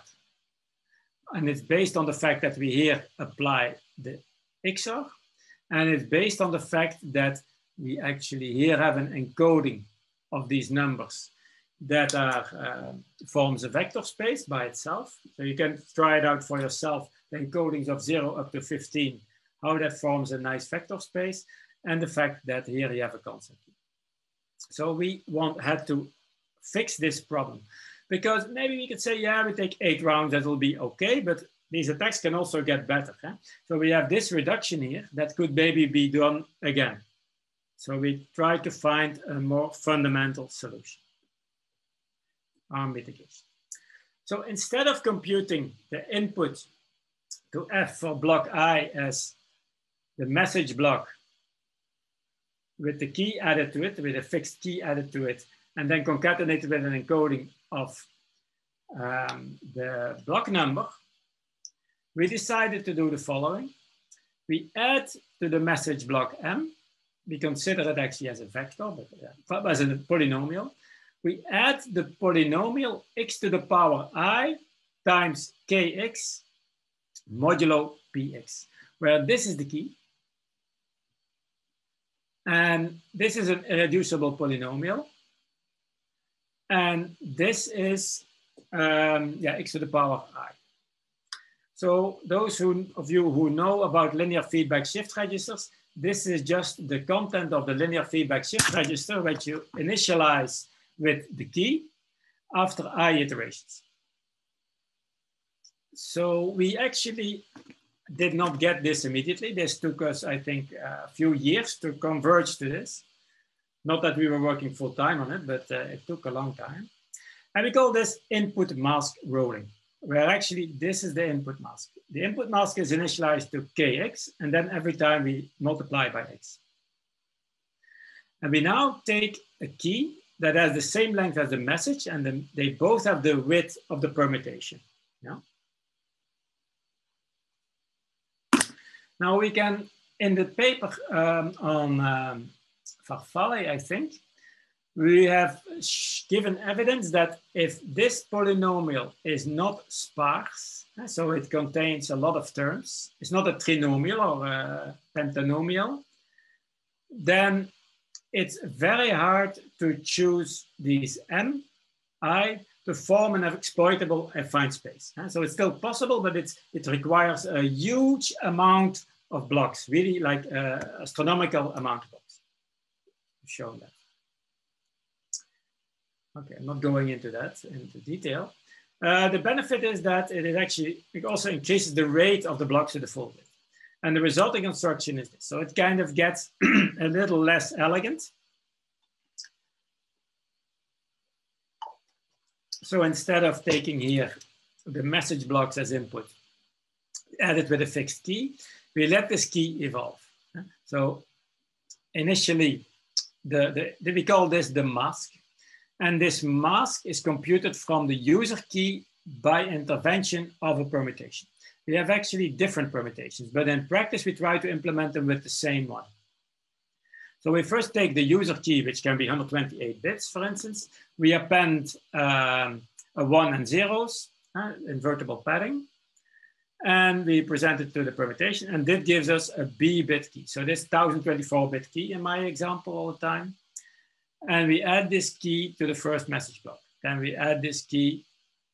Then we iterate this linear feedback shift register. And the iterated version we add to the second block and so on and so on. So you see that, and then we apply the result to the permutation. We call this PC, PB, PC, PD, PE.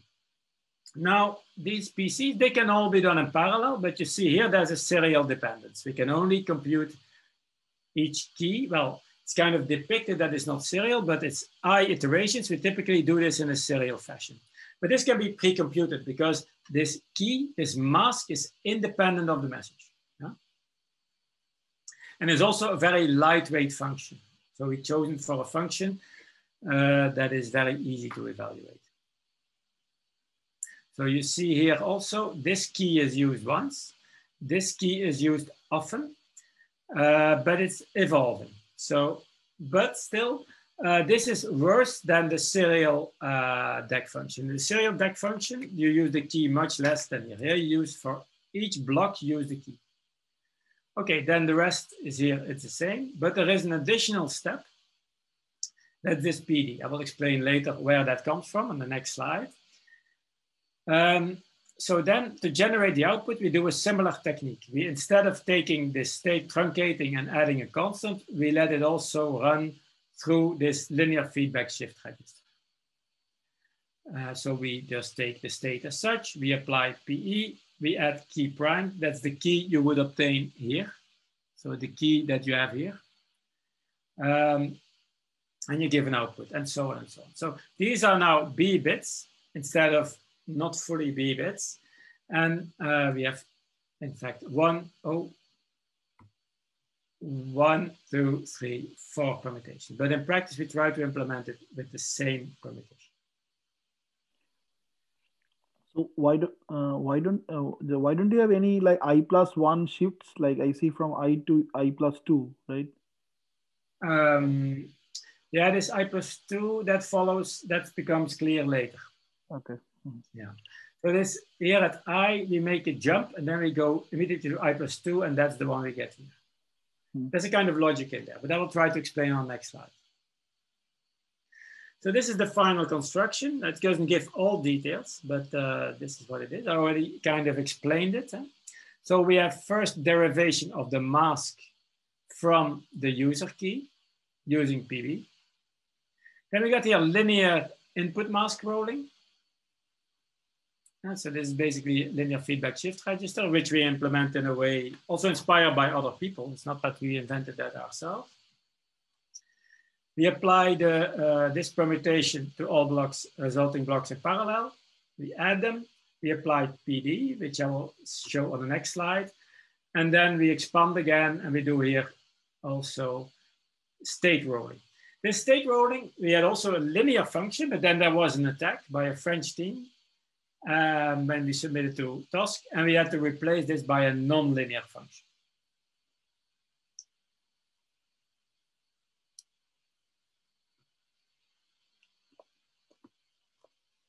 Am I still uh, in the call? Yeah. So uh, yeah. So there is a question. Yeah. So there there is a question, Joan, which you probably like to take. Like uh, the question is like, why use PRPs as building blocks instead of PRFs? Um, so there are no PRPs. These are permutations. They are just fixed permutations with a small number of rounds. So it's not PRPs. It's um, it's permutations. They don't have these permutations, they don't have the ambition to be secure. So the whole thing is that this whole thing should be secure. So this is actually the object of cryptanalysis. Um, so we get an, I will show you a bit what are the top possible attacks. Huh? Um, so the attacker gets to choose this input, doesn't see this, and gets to see this output.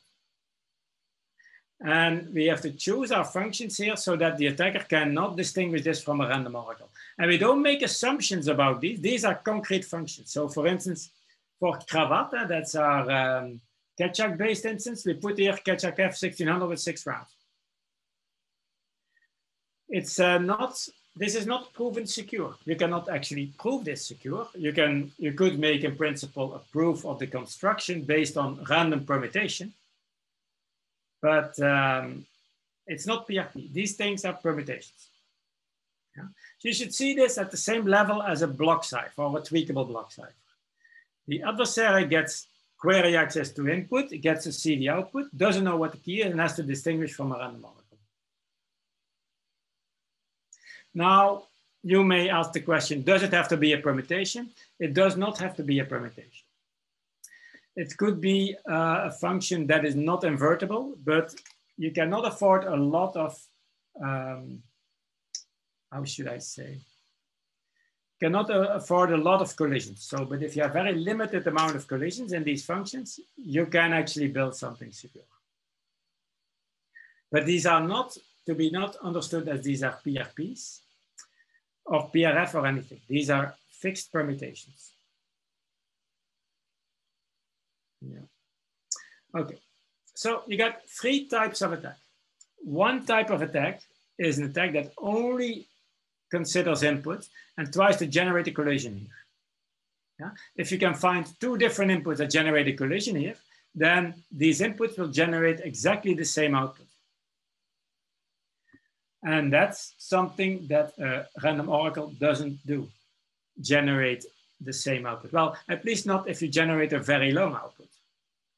And you can generate a very long output. You can go on forever here. Yeah? So that's collision generating attacks. And there we already have quite some, uh, made some progress in uh, cryptanalysis in, in the team in Nijmegen. So we have really a, getting a very good understanding of this way of generating collisions here. The second type of attack is an attack that does state recovery. So what you basically try to do is you try to recover the output of PD here. These are actually all the same value um, uh, by looking at the output. So the first attack is independent of this part. This attack of generating, uh, reconstructing the key here, uh, the state here, is independent of this part. Yeah? So these are two attacks that you cannot do on the block cipher. On the block cipher, you always have to consider input output. So collision generating attacks and attacks that only consider the output. All other attacks, they have to consider input and output. But attacks from input to output, they have to go through one, two, three layers of uh, permutation.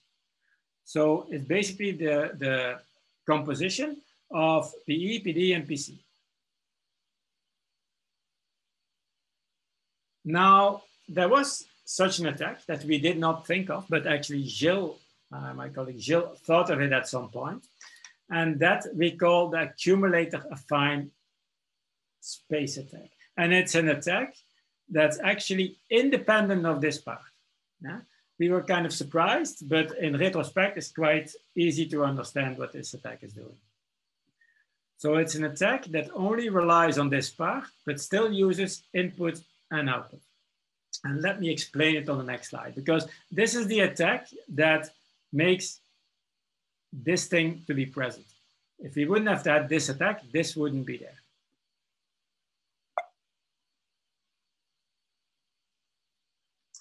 Okay, let's take our function and let's compute our function for four different messages.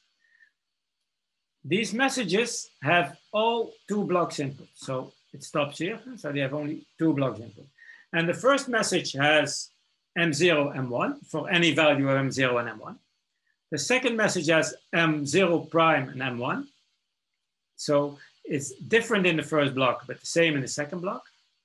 The third message is M0, M1 prime. So it's the same in the first block as this one, but different in the second block, but it's actually, yeah, different in the second block. And then we get M0 prime, M1 prime. Yeah. So basically, we apply M0 in this message and in this message, M0 prime in this message and this message, and M1 in these two messages, and 1 prime in these two messages. But these are four messages, or 2 to the power of 2. Now, let's take a look at what happens here. Huh? So the output of these, we call this EAI. Yeah? So we have here A0, A1. Um, and AI prime is the same for the, the, the values with the prime. So AI is actually PC applied to M. So A0 is equal to PC applied to M0 plus K, K0. And AI prime is PC applied to MI prime plus KI. So this is the same, this is different. Um, actually, this leads to an affine space in the accumulator. So we have here an affine space for these four messages. Namely, for the first message, we get A0 plus A1. For the second message, we get A0 prime plus A1. The third message, we get A0 plus A1 prime. And the fourth, we get A0 prime plus A1. So for these four messages, the intermediate values here in the accumulator form an affine space. And you can actually generalize this to dimension D, and then you get here a, a D-dimensional space. Huh? So it's easy to generalize. You take just three block messages, you have eight of them, and you get an affine space of dimension eight, so you can generalize. And then that means that for this affine space, if you sum all the outputs, if this degree is low enough, you will be able to distinguish because it will be constant. Yeah? So what we need is this and this to have low degree, uh, high degree. If it has too low degree, it should be higher. So that means if we don't have this present here, then we need to take a lot of rounds here. That's the problem. Eight rounds or so. But that would be very expensive because you do this for every block. So we said, okay, let's add this. And then we can keep this cheap and nice and light. And we just do this not so much. So this you do a lot of this computation, do a lot of it. This you just do rarely. Yeah. So that was the reason to add this uh, PD, this attack. Okay, so now this multi-string input, how does that work? Well, this is more detail. Let's say we input two strings, A and B. What we first do is we pad A to a multiple of the block length. So the block length is 1024 bits. We add a one and sufficiently number of zeros so that it's a whole number of blocks. So note that if this is 1024 bits, you will go to two blocks. It will expand to two blocks. If it's 1023 bits, it doesn't expand to two blocks, it just stays one block. So we do the same with all our input strings. So we get here, in this case, three blocks, here two blocks. Then we just apply them. This is just a standard application. Eh? So we add here A0, K0, PC. A1, K1, PC. A2, K2, PC. When we start a new block, we actually do a blank iteration. That's the trick. So we do, instead of only one to the next block, we do two of them. That's the trick. So that's very cheap because this is a very cheap operation. So we get, uh, this doesn't cost a PC, it just costs an additional iteration of the rolling function. That's very cheap. So that's a way to do it. That's the way we did it. So this allows us to put borders between different input messages. And this also explains where this i plus 2 comes from, because that would be the next one. Yeah, that's 7, and that's what happens here. So here would be 7, and that goes here. This 7 is exactly the same k that we will get when we continue here. So this saves some memory. You don't need to store two values. Okay. Um, Xoodoo and Zulu. I think, uh, uh, Jan, I mean, uh, as we discussed, right, maybe it is a good point to take a 15 minutes break. Yeah, that's a and... good point. I fully agree. We started with saying, uh, yeah, that's how we build things now with block ciphers. Um, and propose an alternative approach where we replace the role of a block cipher by a function with not fixed length, but with variable length input and output. That is not tries to mimic it does not try to mimic a random permutation, but tries to mimic a random function or a random oracle uh, with a variable length input and output. And uh, we saw a number of, um, saw the definition and a number of modes where I try to convince you that you can do actually anything you would ever want to do in keyed symmetric crypto with a deck function.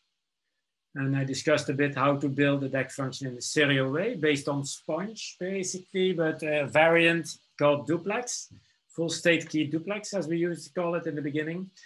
And then I quickly went to the parallel version, which is Farfalle. And I tried to explain a bit the evolution from what we were thinking in the beginning to what we ended up with. And that forms the object of cryptanalysis, but it's also a building block for things. But I've not looked into what is this F or this P, P, uh, B, PC, PD, PE. What are these permutations? And that's where we will go now, and I will explain a bit uh, what that leads to. So the Xoodoo permutation is something we um, first um, communicated to the world at the ECC conference here in Nijmegen, um, where uh, I had the pleasure to give an invited talk. So that's now three years ago. It was in uh, November 2017. And this work of the Xoodoo permutation was actually triggered by another uh, work, namely the Gimli permutation, that was designed earlier that year.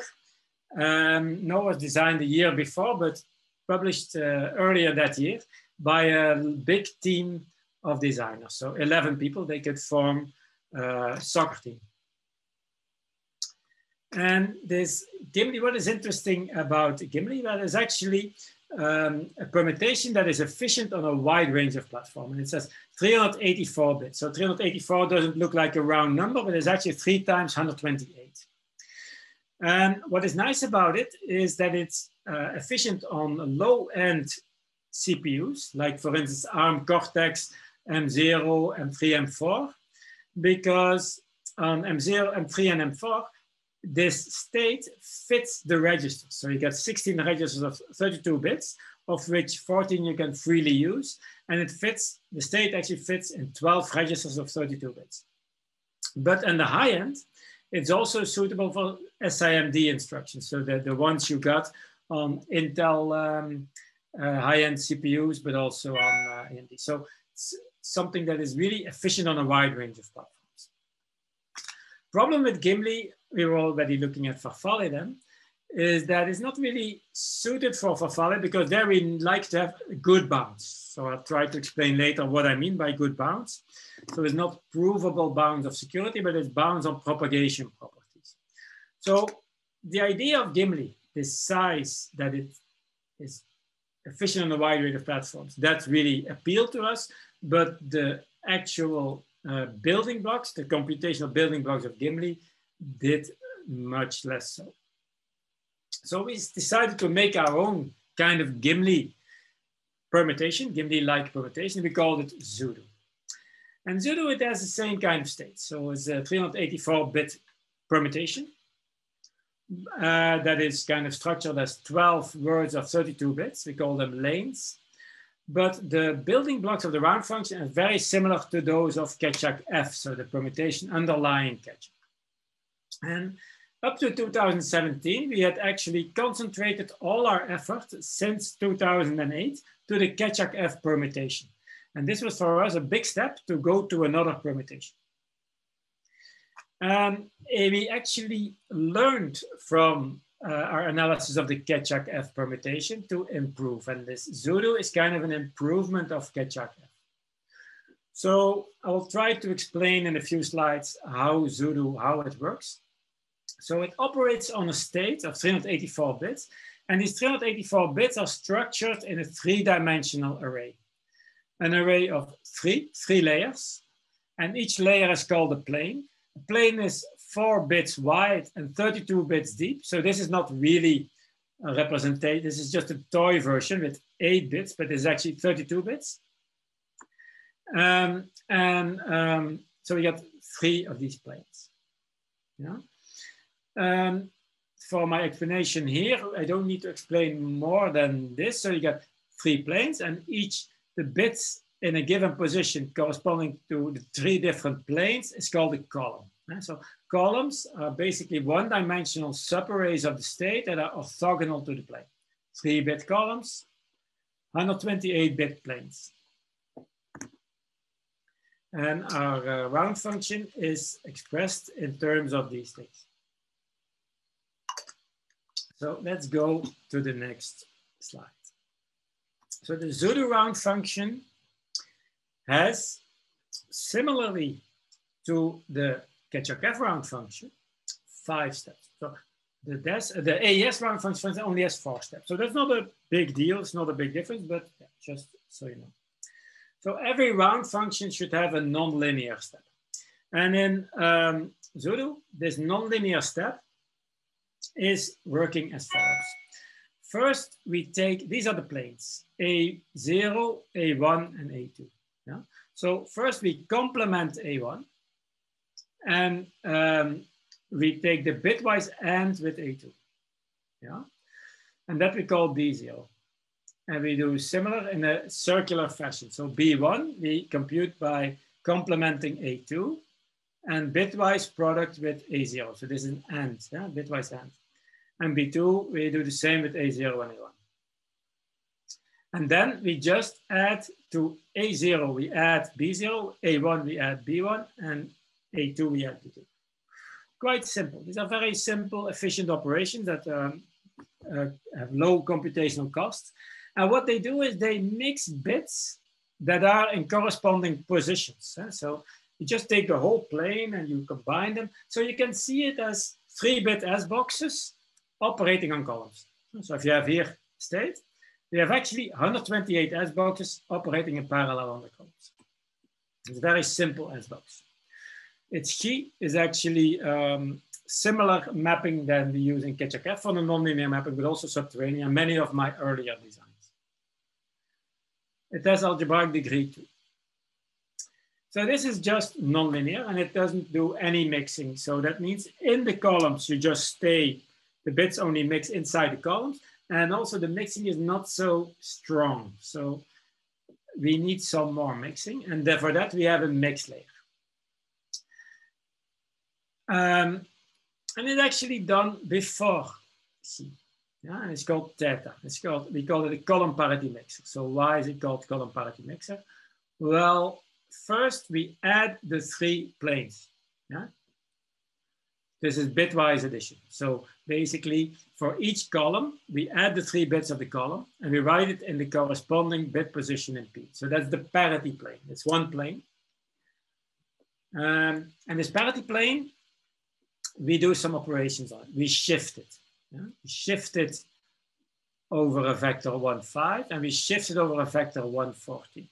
So what, how should you see this shift? Well, if you have a plane shifting, it's over a certain vector. So if you point a vector here, you will shift it there.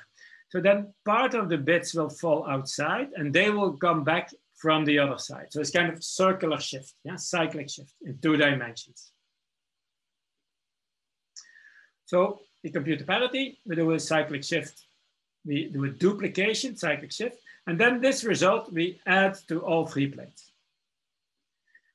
So this does a lot of mix, very good mixing function actually, but it's also very column oriented because this, these bits of P, they are the sum of the bits of a column. So we got here mixing kind of inside the columns. We got here nonlinear mapping inside the column. So we need to do something to tear these columns apart. And for that, we put between rho and chi, we shift plane one and we shift plane two over two different offsets. So I can go again back here. So we take our plane zero, that's the bottom plane, we stay, keep it where it is. This plane on one, we shift it over one direction. This we shift over another direction. And the three bits that are in the same column, they will go to different columns and the bits that will end up in the same column, they come from different columns. So we kind of break the column alignment here. Yeah. But if we have multiple rounds, so we do this multiple times in a loop, then we see that if we have chi and then immediately following theta, we have still this strong column alignment. So we need to do similar stuff here. So we, that's why we have two um, bit shuffles, these shuffle the bits. Yeah? So one to destroy column alignment after theta before chi, and one to destroy column alignment after chi before the next theta. That's basically the round function. The only thing that's missing is a round constant addition because there's a lot of symmetry here and we need to destroy that symmetry and that we do by adding some bits. It's quite simple round function and it has very good propagation properties. Um, these propagation properties, they are described in the trail bounds. So trail bounds, trails are things that have relevance in the attacks, differential and linear cryptanalysis. And these are the kind of defining attacks of symmetric crypto, if you ask me. Very important attacks that say a lot about other attacks too. They kind of are describing the worst case propagation, the best that um, an adversary can exploit. So what is relevant in differential cryptanalysis is the differential propagation probability of inputs to outputs. What does that mean? So if we consider a random pair of inputs to the permutation with a certain difference, so we apply two inputs that are randomly chosen in such a way that they still they have a fixed difference. So you basically choose one of the inputs and you compute the other one by adding delta in, then the probability that we give a, give a certain delta out, huh, that the output of the permutation, the difference between the two outputs is delta out, we actually want this computer to know the maximum of all possible delta in, delta out. And the higher this is, the more efficient differential cryptanalysis is, or the worse the uh, cipher behaves with respect to differential cryptanalysis. So we want this maximum over all delta in, delta out to be small. With uh, linear cryptanalysis, we're looking at correlations. We want the maximum correlation over all input bits and all possible combination of input bits, denoted by U in, and all possible combination of output bits, U out. So the maximum over all these possible combinations to be as small as possible. So these are very hard to compute, these things. But in Xoodoo, we claim that this is very well approximated by this. Okay, where here you look over a differential, an input and an output difference, and here we look over a differential trail. So what is a differential trail? Well, if you have a number of rounds of a, of a iterated permutation, like a block cipher or like a permutation, like Xoodoo in this case, you not only specify the input difference and the output difference, but you also specify the intermediate differences. Yeah. So the advantage of this is that it's easier to get bounds than for this. And for Xoodoo, we have some circumstantial evidence that this is really a very good approximation. So it doesn't really matter that this is hard to compute. We just compute this and it's really representative. For linear cryptanalysis, we have something similar with linear trails. I will not go into this. And then finally, to make things easier to uh, visualize and understand, we replace the dp, that's often of the form 2 to the power minus something, by the weight. So if we have a dp 2 to the power minus x, the weight becomes x.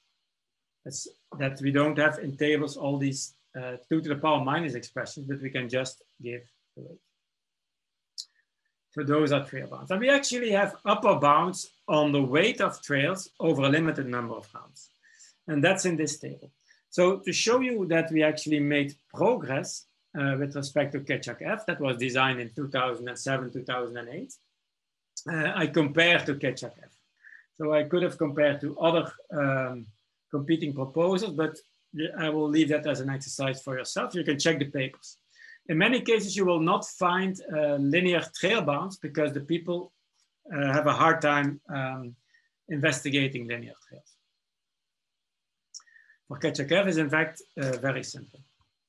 So what does this table say? This is for differential trails. This is for linear trails. Yeah? And this is the number of rounds. So what this says, for instance, that for three rounds, for Keccak-F 400, so that's the Keccak-F version that has a permutation with 400 bits, very close to Xoodoo which is 384 bits. So that's the version we should compare. You have a three round trail of weight 24. That means there is a three round trail with probability 2 to the power minus 24, dp to the power minus 24. That also means that there is a three round differential, and we know this for differentials, with a with dp 2 to the power minus 24.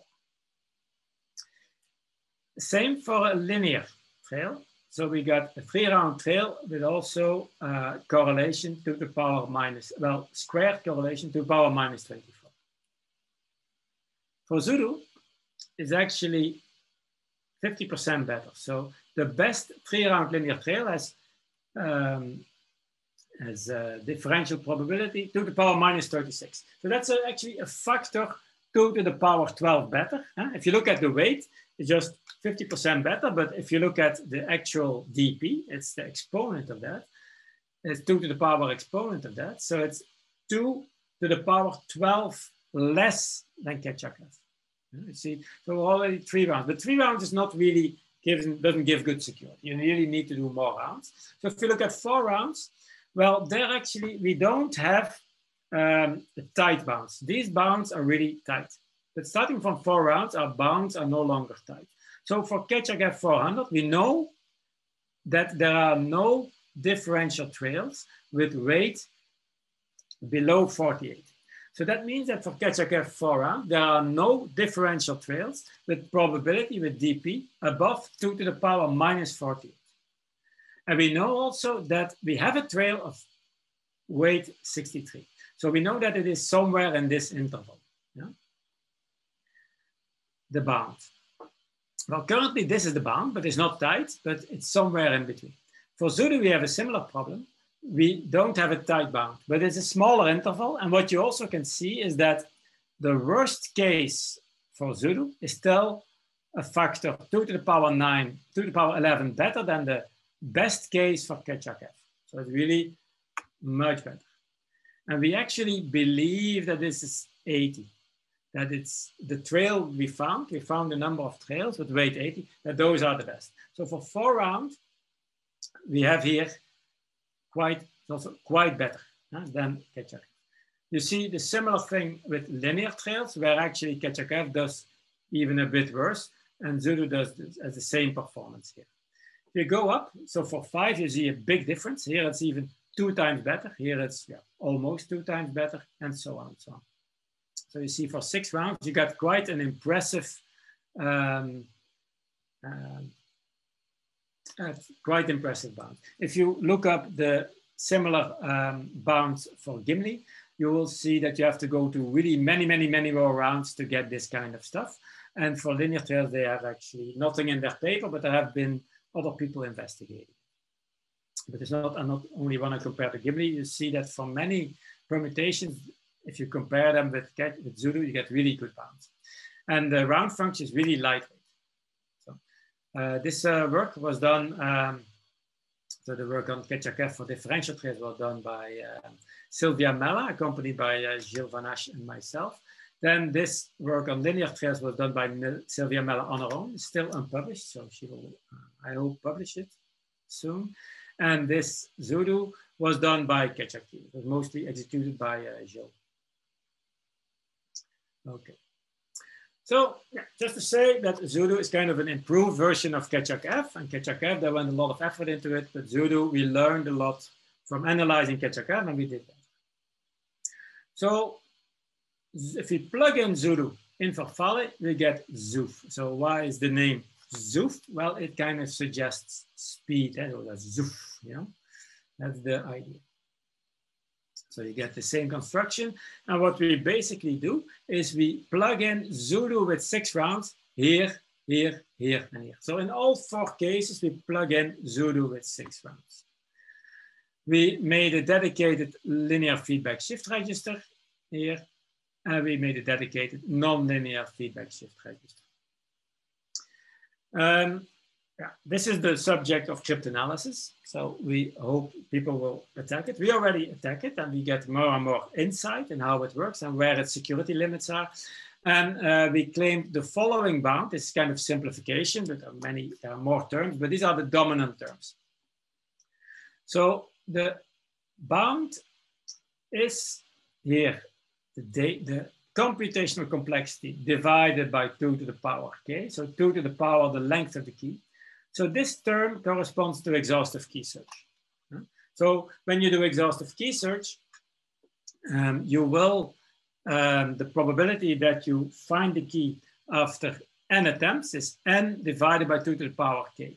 So as soon as you um, find the key, you can distinguish because then you know you have the full access to the full spec and you can predict all possible outputs. So that's corresponding to exhaustive key search. This is a limit to exhaustive key search that we said, yeah, if the key, the key is too long, there can be bad stuff happening. And we kind of estimated this to 192. So this is based on cryptanalysis. And this is uh, the expression in the data complexity where normally you got here typically a quadratic term, but we think with our analysis that we can afford a linear term, but with a higher denominator. So this is not something we can prove, but we have a motivation why we believe this cannot be broken. But if, if you have an attacker, well, a cryptanalyst should try to find an attack that allows you to, uh, that allows to distinguish this from a random oracle in with success probability higher than this, given M and N resources. So has there been cryptanalysis? Yeah, we are looking at it, but also some groups have looked at it, but not so many. So I would really welcome cryptanalysis. Let's take a look at the performance of Xoofff. So the performance of Xoofff is basically this thing where you present input and you get output. This is mask derivation, this thing. Um, okay. So mask derivation on ARM Cortex M0, so that's kind of the low-end CPU. It's still 32-bit CPU, but still quite quite cheap, and it's used a lot in uh, low-end uh, in IoT devices or on uh, low-end smart cards. So Xoofff mask derivation costs 1985 cycles on ARM Cortex M0. If you process less than 48 bytes, that's less than 384 bits, well, actually less than, yeah, less than 384 bits. Yeah. This is the amount of cycles. Yeah. That's basically when you have single block input, single block output. Well, it's not, doesn't say much. If you look at MAC computation for um, long inputs, then you're basically doing here a lot of computation here and here only one block because it's a short output. If you do stream generation for a long output, you do a lot of this computation and few of these. So they have kind of the same, more or less the same performance, actually this is a bit heavier to do long inputs than to do long outputs per byte. So this is cycles per byte of input, cycles per byte of output. 25, 26 cycles per byte. So if we compare to something uh, that has the same functionality, well, AES 128 in counter mode also generates a stream that costs 121.4 cycles per byte. So that's almost five times as slow. Yeah. So this thing is five times as fast as AES on ARM Cortex M0. If you look at ARM Cortex M3 and 4, well, you see the numbers are kind of divided by a factor. And here for long inputs, you only have 8.8 cycles per byte and 8.1 cycles. Also AES gets faster, but the ratio still more than, well, about one in four. But still four times as fast, more or less, on ARM Cortex M3. So on these low-end CPUs, get much faster than AES. Now let's take a look at the high-end CPUs. Well, Intel Core i5 6500, uh, Skylake CPU. Uh, when we do it on a single core, and uh, yeah, apparently that's a setting we have to disable the turbo boost for honest comparison. Um, we make use of the SIMD instructions operating on 256 bits. So we see here that we get quite much better performances than um, uh, Cortex, because of course it's a much more powerful CPU. And we fall below one cycle per byte. But AES falls actually at, let's say, two thirds of a cycle per byte. But AES here has at the uh, dedicated AES instructions. So this is really not fair. We are comparing here Xoofff with general purpose instructions. Well, at least SIMD, if you can call them general purpose. They are not designed for Xoofff, with an instruction that does AES and just that. So what you see is that despite the fact that AES has dedicated instructions, we reach performance in the same order of magnitude. So that's, I think, quite, that was quite, uh, we were very happy when we got this performance. And even happier later when the successor of the Skylake, Skylake X appeared, where we basically get faster than AES. Yeah? Because it has a 512-bit SIMD, which is more powerful. So we can make more use. So we actually are faster than AES on a platform that has dedicated AES instructions. So it's quite fast. Okay, so that's actually uh, my talk. So um, I will conclude and then there's probably some time for questions. Huh? So I think uh, I would like to conclude from this that secure deck functions are powerful, that you can do a lot of it, of symmetric crypto with it. I, I showed you stream encryption, I showed you MAC functions, I showed you nonce-based authenticated encryption, uh, session or no session. Um, also, this deterministic authentic encryption, or called SIV-based authentic encryption in the form of a wide block cipher, but there's also other modes that we have for that. Um, yeah, this wide block encryption. Um, so I showed you that deck functions can be built from permutations. Probably there are other ways, but we prefer to do that from permutations. If you want something compact and um, easier to protect against DPA and stuff, we uh, would recommend key duplex or full state. Well, because in the beginning, we did not absorb over the complete state. In parallel, we have Farfalle to offer. And if you look at Xoodoo, it gives a very competitive deck function, Xoodoo. Uh, okay, thanks for your attention. So I would like to um, announce something. So if you want to be part of this search, because it's not finished yet, we're still trying to improve and gain understanding. So we have open positions in our uh, group, three open positions, one more on cryptanalysis, one on provable security, and one on um, crypto engineering, so investigation of side channel attacks and fault attacks. Um, and you can find it on uh, ICR um, uh, website. So you can send a mail um, I think you have to apply to, to our secretaries, but you can always, if you want more information, send a mail to me, Leila, or Bart. But you can find all the information on the ICR uh, job posting. So look for uh, Radboud. So thanks for your attention. Uh, for, first of all, th thanks, thank you, uh, you know, like Professor uh, John for a excellent talk uh, on a very interesting primitive. So it brings forth, I guess, a lot of interesting ideas among the audience. So I request the audience uh, also to, you know, like, please feel free to ask uh, questions, maybe on the Zoom box or, you know, like, uh, yeah, I think uh, there is a lot of appreciation from the audience that we can see. So I guess the talk was really, really engaging. Um, are there any questions from the audience?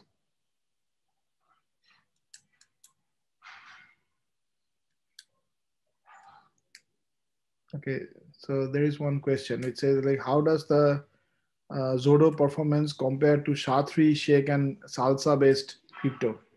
Yeah, um, so uh, Shake and um, SHA-3 so if you look at these low-end CPUs, it's not really well suited because it has a huge state. Huh? So Shake and SHA-3 have a huge state. Also, Shake and SHA-3, they, they suffer from um, um, overly uh, conservative number of rounds. So that happened in the, um, in the SHA-3 competition. At some point, we increased the rounds to 24 while now we think that 12 rounds would give a huge margin still. Uh, so that in that respect, it's really favorable if you compare it to Shake. Now, if you compare to, what is it, Chacha, uh, then I think Chacha is quite efficient. but um, so it depends also on the number of rounds, of course. Huh? So we think with um, Xoofff, so what we should compare is Xoofff and Chacha.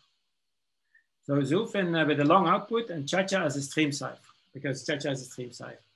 And if you look at um, Chacha uh, with uh, 12 rounds, then yeah, I don't know. We, did, we never did actually the test, but I think Xoofff would beat it. If you look at Chacha with eight rounds, Xoofff would not beat it. I don't think it would beat it. But with eight rounds, it would beat it on many platforms. Uh, but uh, we should do the test. I think there should be some kind of benchmark that we can uh, compare.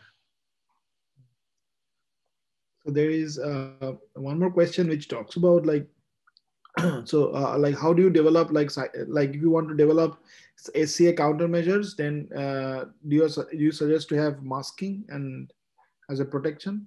Yes. So there's in countermeasures, there's several things you can do. Uh, you can do uh, countermeasures at the algorithmic level. So say, yeah, we're going to do masking, we're going to do our pseudo permutation, and we're going to do it like in three shares, for instance. Uh, because we have only degree two, it's quite uh, well suited for that, of course. Huh? We, we do, did that did on purpose. So if you have to do it with Chacha, it's not so easy, but it's easy, but it's always expensive. So if you have three shares, you kind of blow up uh, always uh, the, the, state size by a big factor, by factor three at least. And also the computation uh, goes times four or five or six even. Because all non-linear operations, it's, it's, it's growing as a square. Right? So if you have um, an AND gate, uh, three share, you get nine AND gates. So it's, it's quite costly. So that's one thing you can do, masking, if you have no other choice.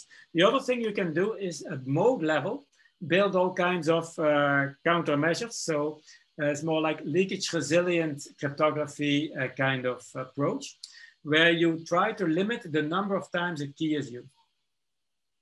So let's say you got um, uh, you do TLS or something like that. Now I do some session. You set up a key with um, uh, ECDH or so, or with some post-quantum thing.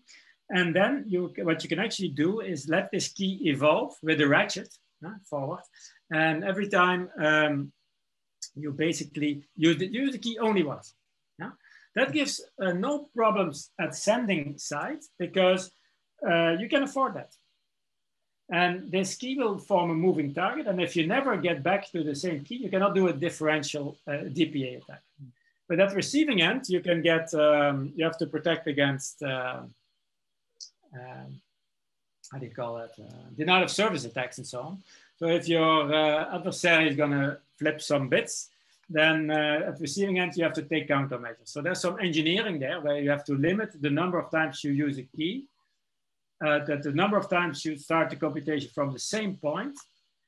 Um, uh, so the more you can do that, the more robust you are, but the more you can do that, also the more you get a possibility of a DPA. There's a kind of a compromise to be made. And then there are, uh, this is a, a, problem, especially for memory encryption, because for memory encryption, you want to encrypt and you want to be able to decrypt much later on different moments. So you cannot do that. You cannot put these limits. And in that case, there have been modes developed, especially for that purpose. And one of these modes is ISAP. That's one of the um, submissions to the NIST um, lightweight competition. So it's a solution that is fully at mode level and you can plug in any permutation. So the idea is that you don't have to actually do masking. And uh, there's uh, only one mode uh, that I now mention, ISAP, but there are probably other designs that do the same. So um, as far as masking is concerned, of course, this low degree is an advantage, but you cannot expect miracles. It will always be expensive. Yeah. Um, as far as leakage resilience is concerned, for many use cases like point-to-point -point encryption, you can actually do very efficient stuff with Xoodyak, for instance. In Xoodyak, we have really built in a number of um, mechanisms to, uh, to make DPA difficult. Same for um, differential uh, fault attacks. You again have to avoid that you do two times the computation with the same key. Yeah. If you want to protect against SIFA and so on, up to now, um, if you cannot strongly limit the number of times you use a key, then the method um, that uh, I investigated together with the, the people from IAIK, so Christoph Dobraunig et al. Um, what you can do is combine uh, masking, so threshold scheme, for instance, with um, redundant computation. Uh, and it helps then if you encode your function by only invertible functions. So that allows to, to get provable protection against single fault DFA, a single fault SIFA. But of course, in SIFA, you're not limited to a single fault. So it's that's really ongoing work. But uh, just to say, and uh, that's protection um, at masking level is very hard for ARX, things like Chacha, of course. And So that's here an advantage. And it's also even much better, uh, these functions of algebraic degree two than AES, where the nonlinear mapping has a high algebraic degree. Uh, yes, so I think there is a Lila provides a reference to the ICR jobs. Okay, so so uh, so one quick question is like uh, you know so you you talked about efficient software implementations right on different platforms for this yeah. more uh, mechanism. So usually when we see like the AES software implementations, they use a lot of table lookups right in their implementation. Yeah. So what what is like that you like you have you know in your implementations, for example, is it like similar kind of things or the implementation is more bitwise you know like uh... yeah i will show you the pseudocode so um, you can see what it is. These are basically three words uh, wait huh? so these are the words the cpu words. So now 8 bits sorry it's 8 bit cpu words but they're actually 32 bit cpu words yeah and for instance, the end of two planes is just the end of words. The XOR, uh, the, the, addition of two planes is just the, the XOR of words. And uh, uh, shifts, so cyclic shifts, is just cyclic shift of words. So there is no table lookup at all. It's all uh, bitwise operations. Yeah. So there are no uh, cache attacks are not a threat. Well, uh, especially not if all your state fits in a register, of course, if it's in the register. So uh, you can see all these operations, this dot is bitwise AND, this bitwise XOR, and these are just cyclic shifts. Hmm. Yeah. So, uh, so just asking, like, are the software codes of these sudo and so on are they available online? I mean, yeah, yeah, they're all in GitHub. Huh? So you have the um, the oh, XKCP. Uh, let me quickly uh, see if I can find it. Uh, right um, let me see. I'm trying to find my browser, yes. Um,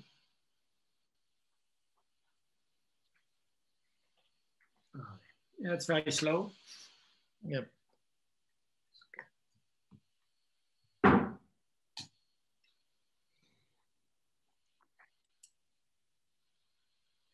There's all the code. Huh? Okay, that's great. Yeah. Um, yeah, I don't know. To be honest, it's Gilles that really uh, made all of this and manages all of this. Lip, low. But there you see Xoodoo, P. It's um, yeah, it's well documented and it has a lot of things. So it also has all the modes and stuff. So for instance, uh, hi, there you get Xoodyak, Xoofff, Kia, Keccak, Keccak, Kangaroo 12. So everything is there. Um, and it has a sponge construction. That's actually everything you would ever need. That's kind of the idea. So all this code that is that I report on, this code is actually in there. Mm -hmm. And the code that runs fast on uh, uh, uh, Cortex M0, M3, M4. It's all there. It's also, yeah, I should mention, I never, I didn't write any of this code. Most of this code is written by uh, Ronny Van Keer and also some parts by Gilles. Mm -hmm. Okay, so I think that's uh, that's that's an you know like uh, let's again you know like on behalf of the conference organizers, I would like to thank Yuan for this excellent talk, and it was extremely enriching for most of us and and I believe that the audience. I mean, I, I, can already see there are a lot of positive feedbacks from the audience. So I would like to say, you know, like a warm thanks to Yuan. I know it's also getting late over there. So with this, with this, yeah. So with this, I would like to say, you know, like uh, uh, goodbye. And I think uh, I would leave the dais now to the program chairs, uh, Stefan and uh, Lala, and other person. So uh, there was a question about differential attack. So, okay, so maybe I missed it. Okay, so yeah, it's probably in the Slack. Let me just Yeah, we'll take it offline. Huh? Maybe you can just post it offline to Yuan and uh, and and and I believe you can get that response. So thank you, Yuan. I mean, it was a pleasure to have you. Yeah, thank you very much. it was my pleasure to do it. And uh, I hope I didn't bore you. no, it was excellent. So I, we, we would probably bother you with more queries subsequently when we get into the stuff a little bit. Yeah. Thank you. Thank you so much. Thank you. So Mainack, Stefan would like to. Sure. Um, thank you. Uh, thank you, Jan, for, for excellent talk. Um, always pleasure listening. Uh, yeah, with this, we, we, we are done for, for today. And that means people uh, get some rest. And tomorrow we continue with one more tutorial and then we start with, with the conference and posters and keynotes and a lot of things happening during the weekend. Thank you all for being here. Mainack? Yep. Thank you all. And thanks a lot, Johan, for that excellent talk. Uh, and uh, we hope to see you uh, tomorrow. And tomorrow, the main conference will start with a lot of activities going on for the next two days. So stay tuned and uh, see you tomorrow.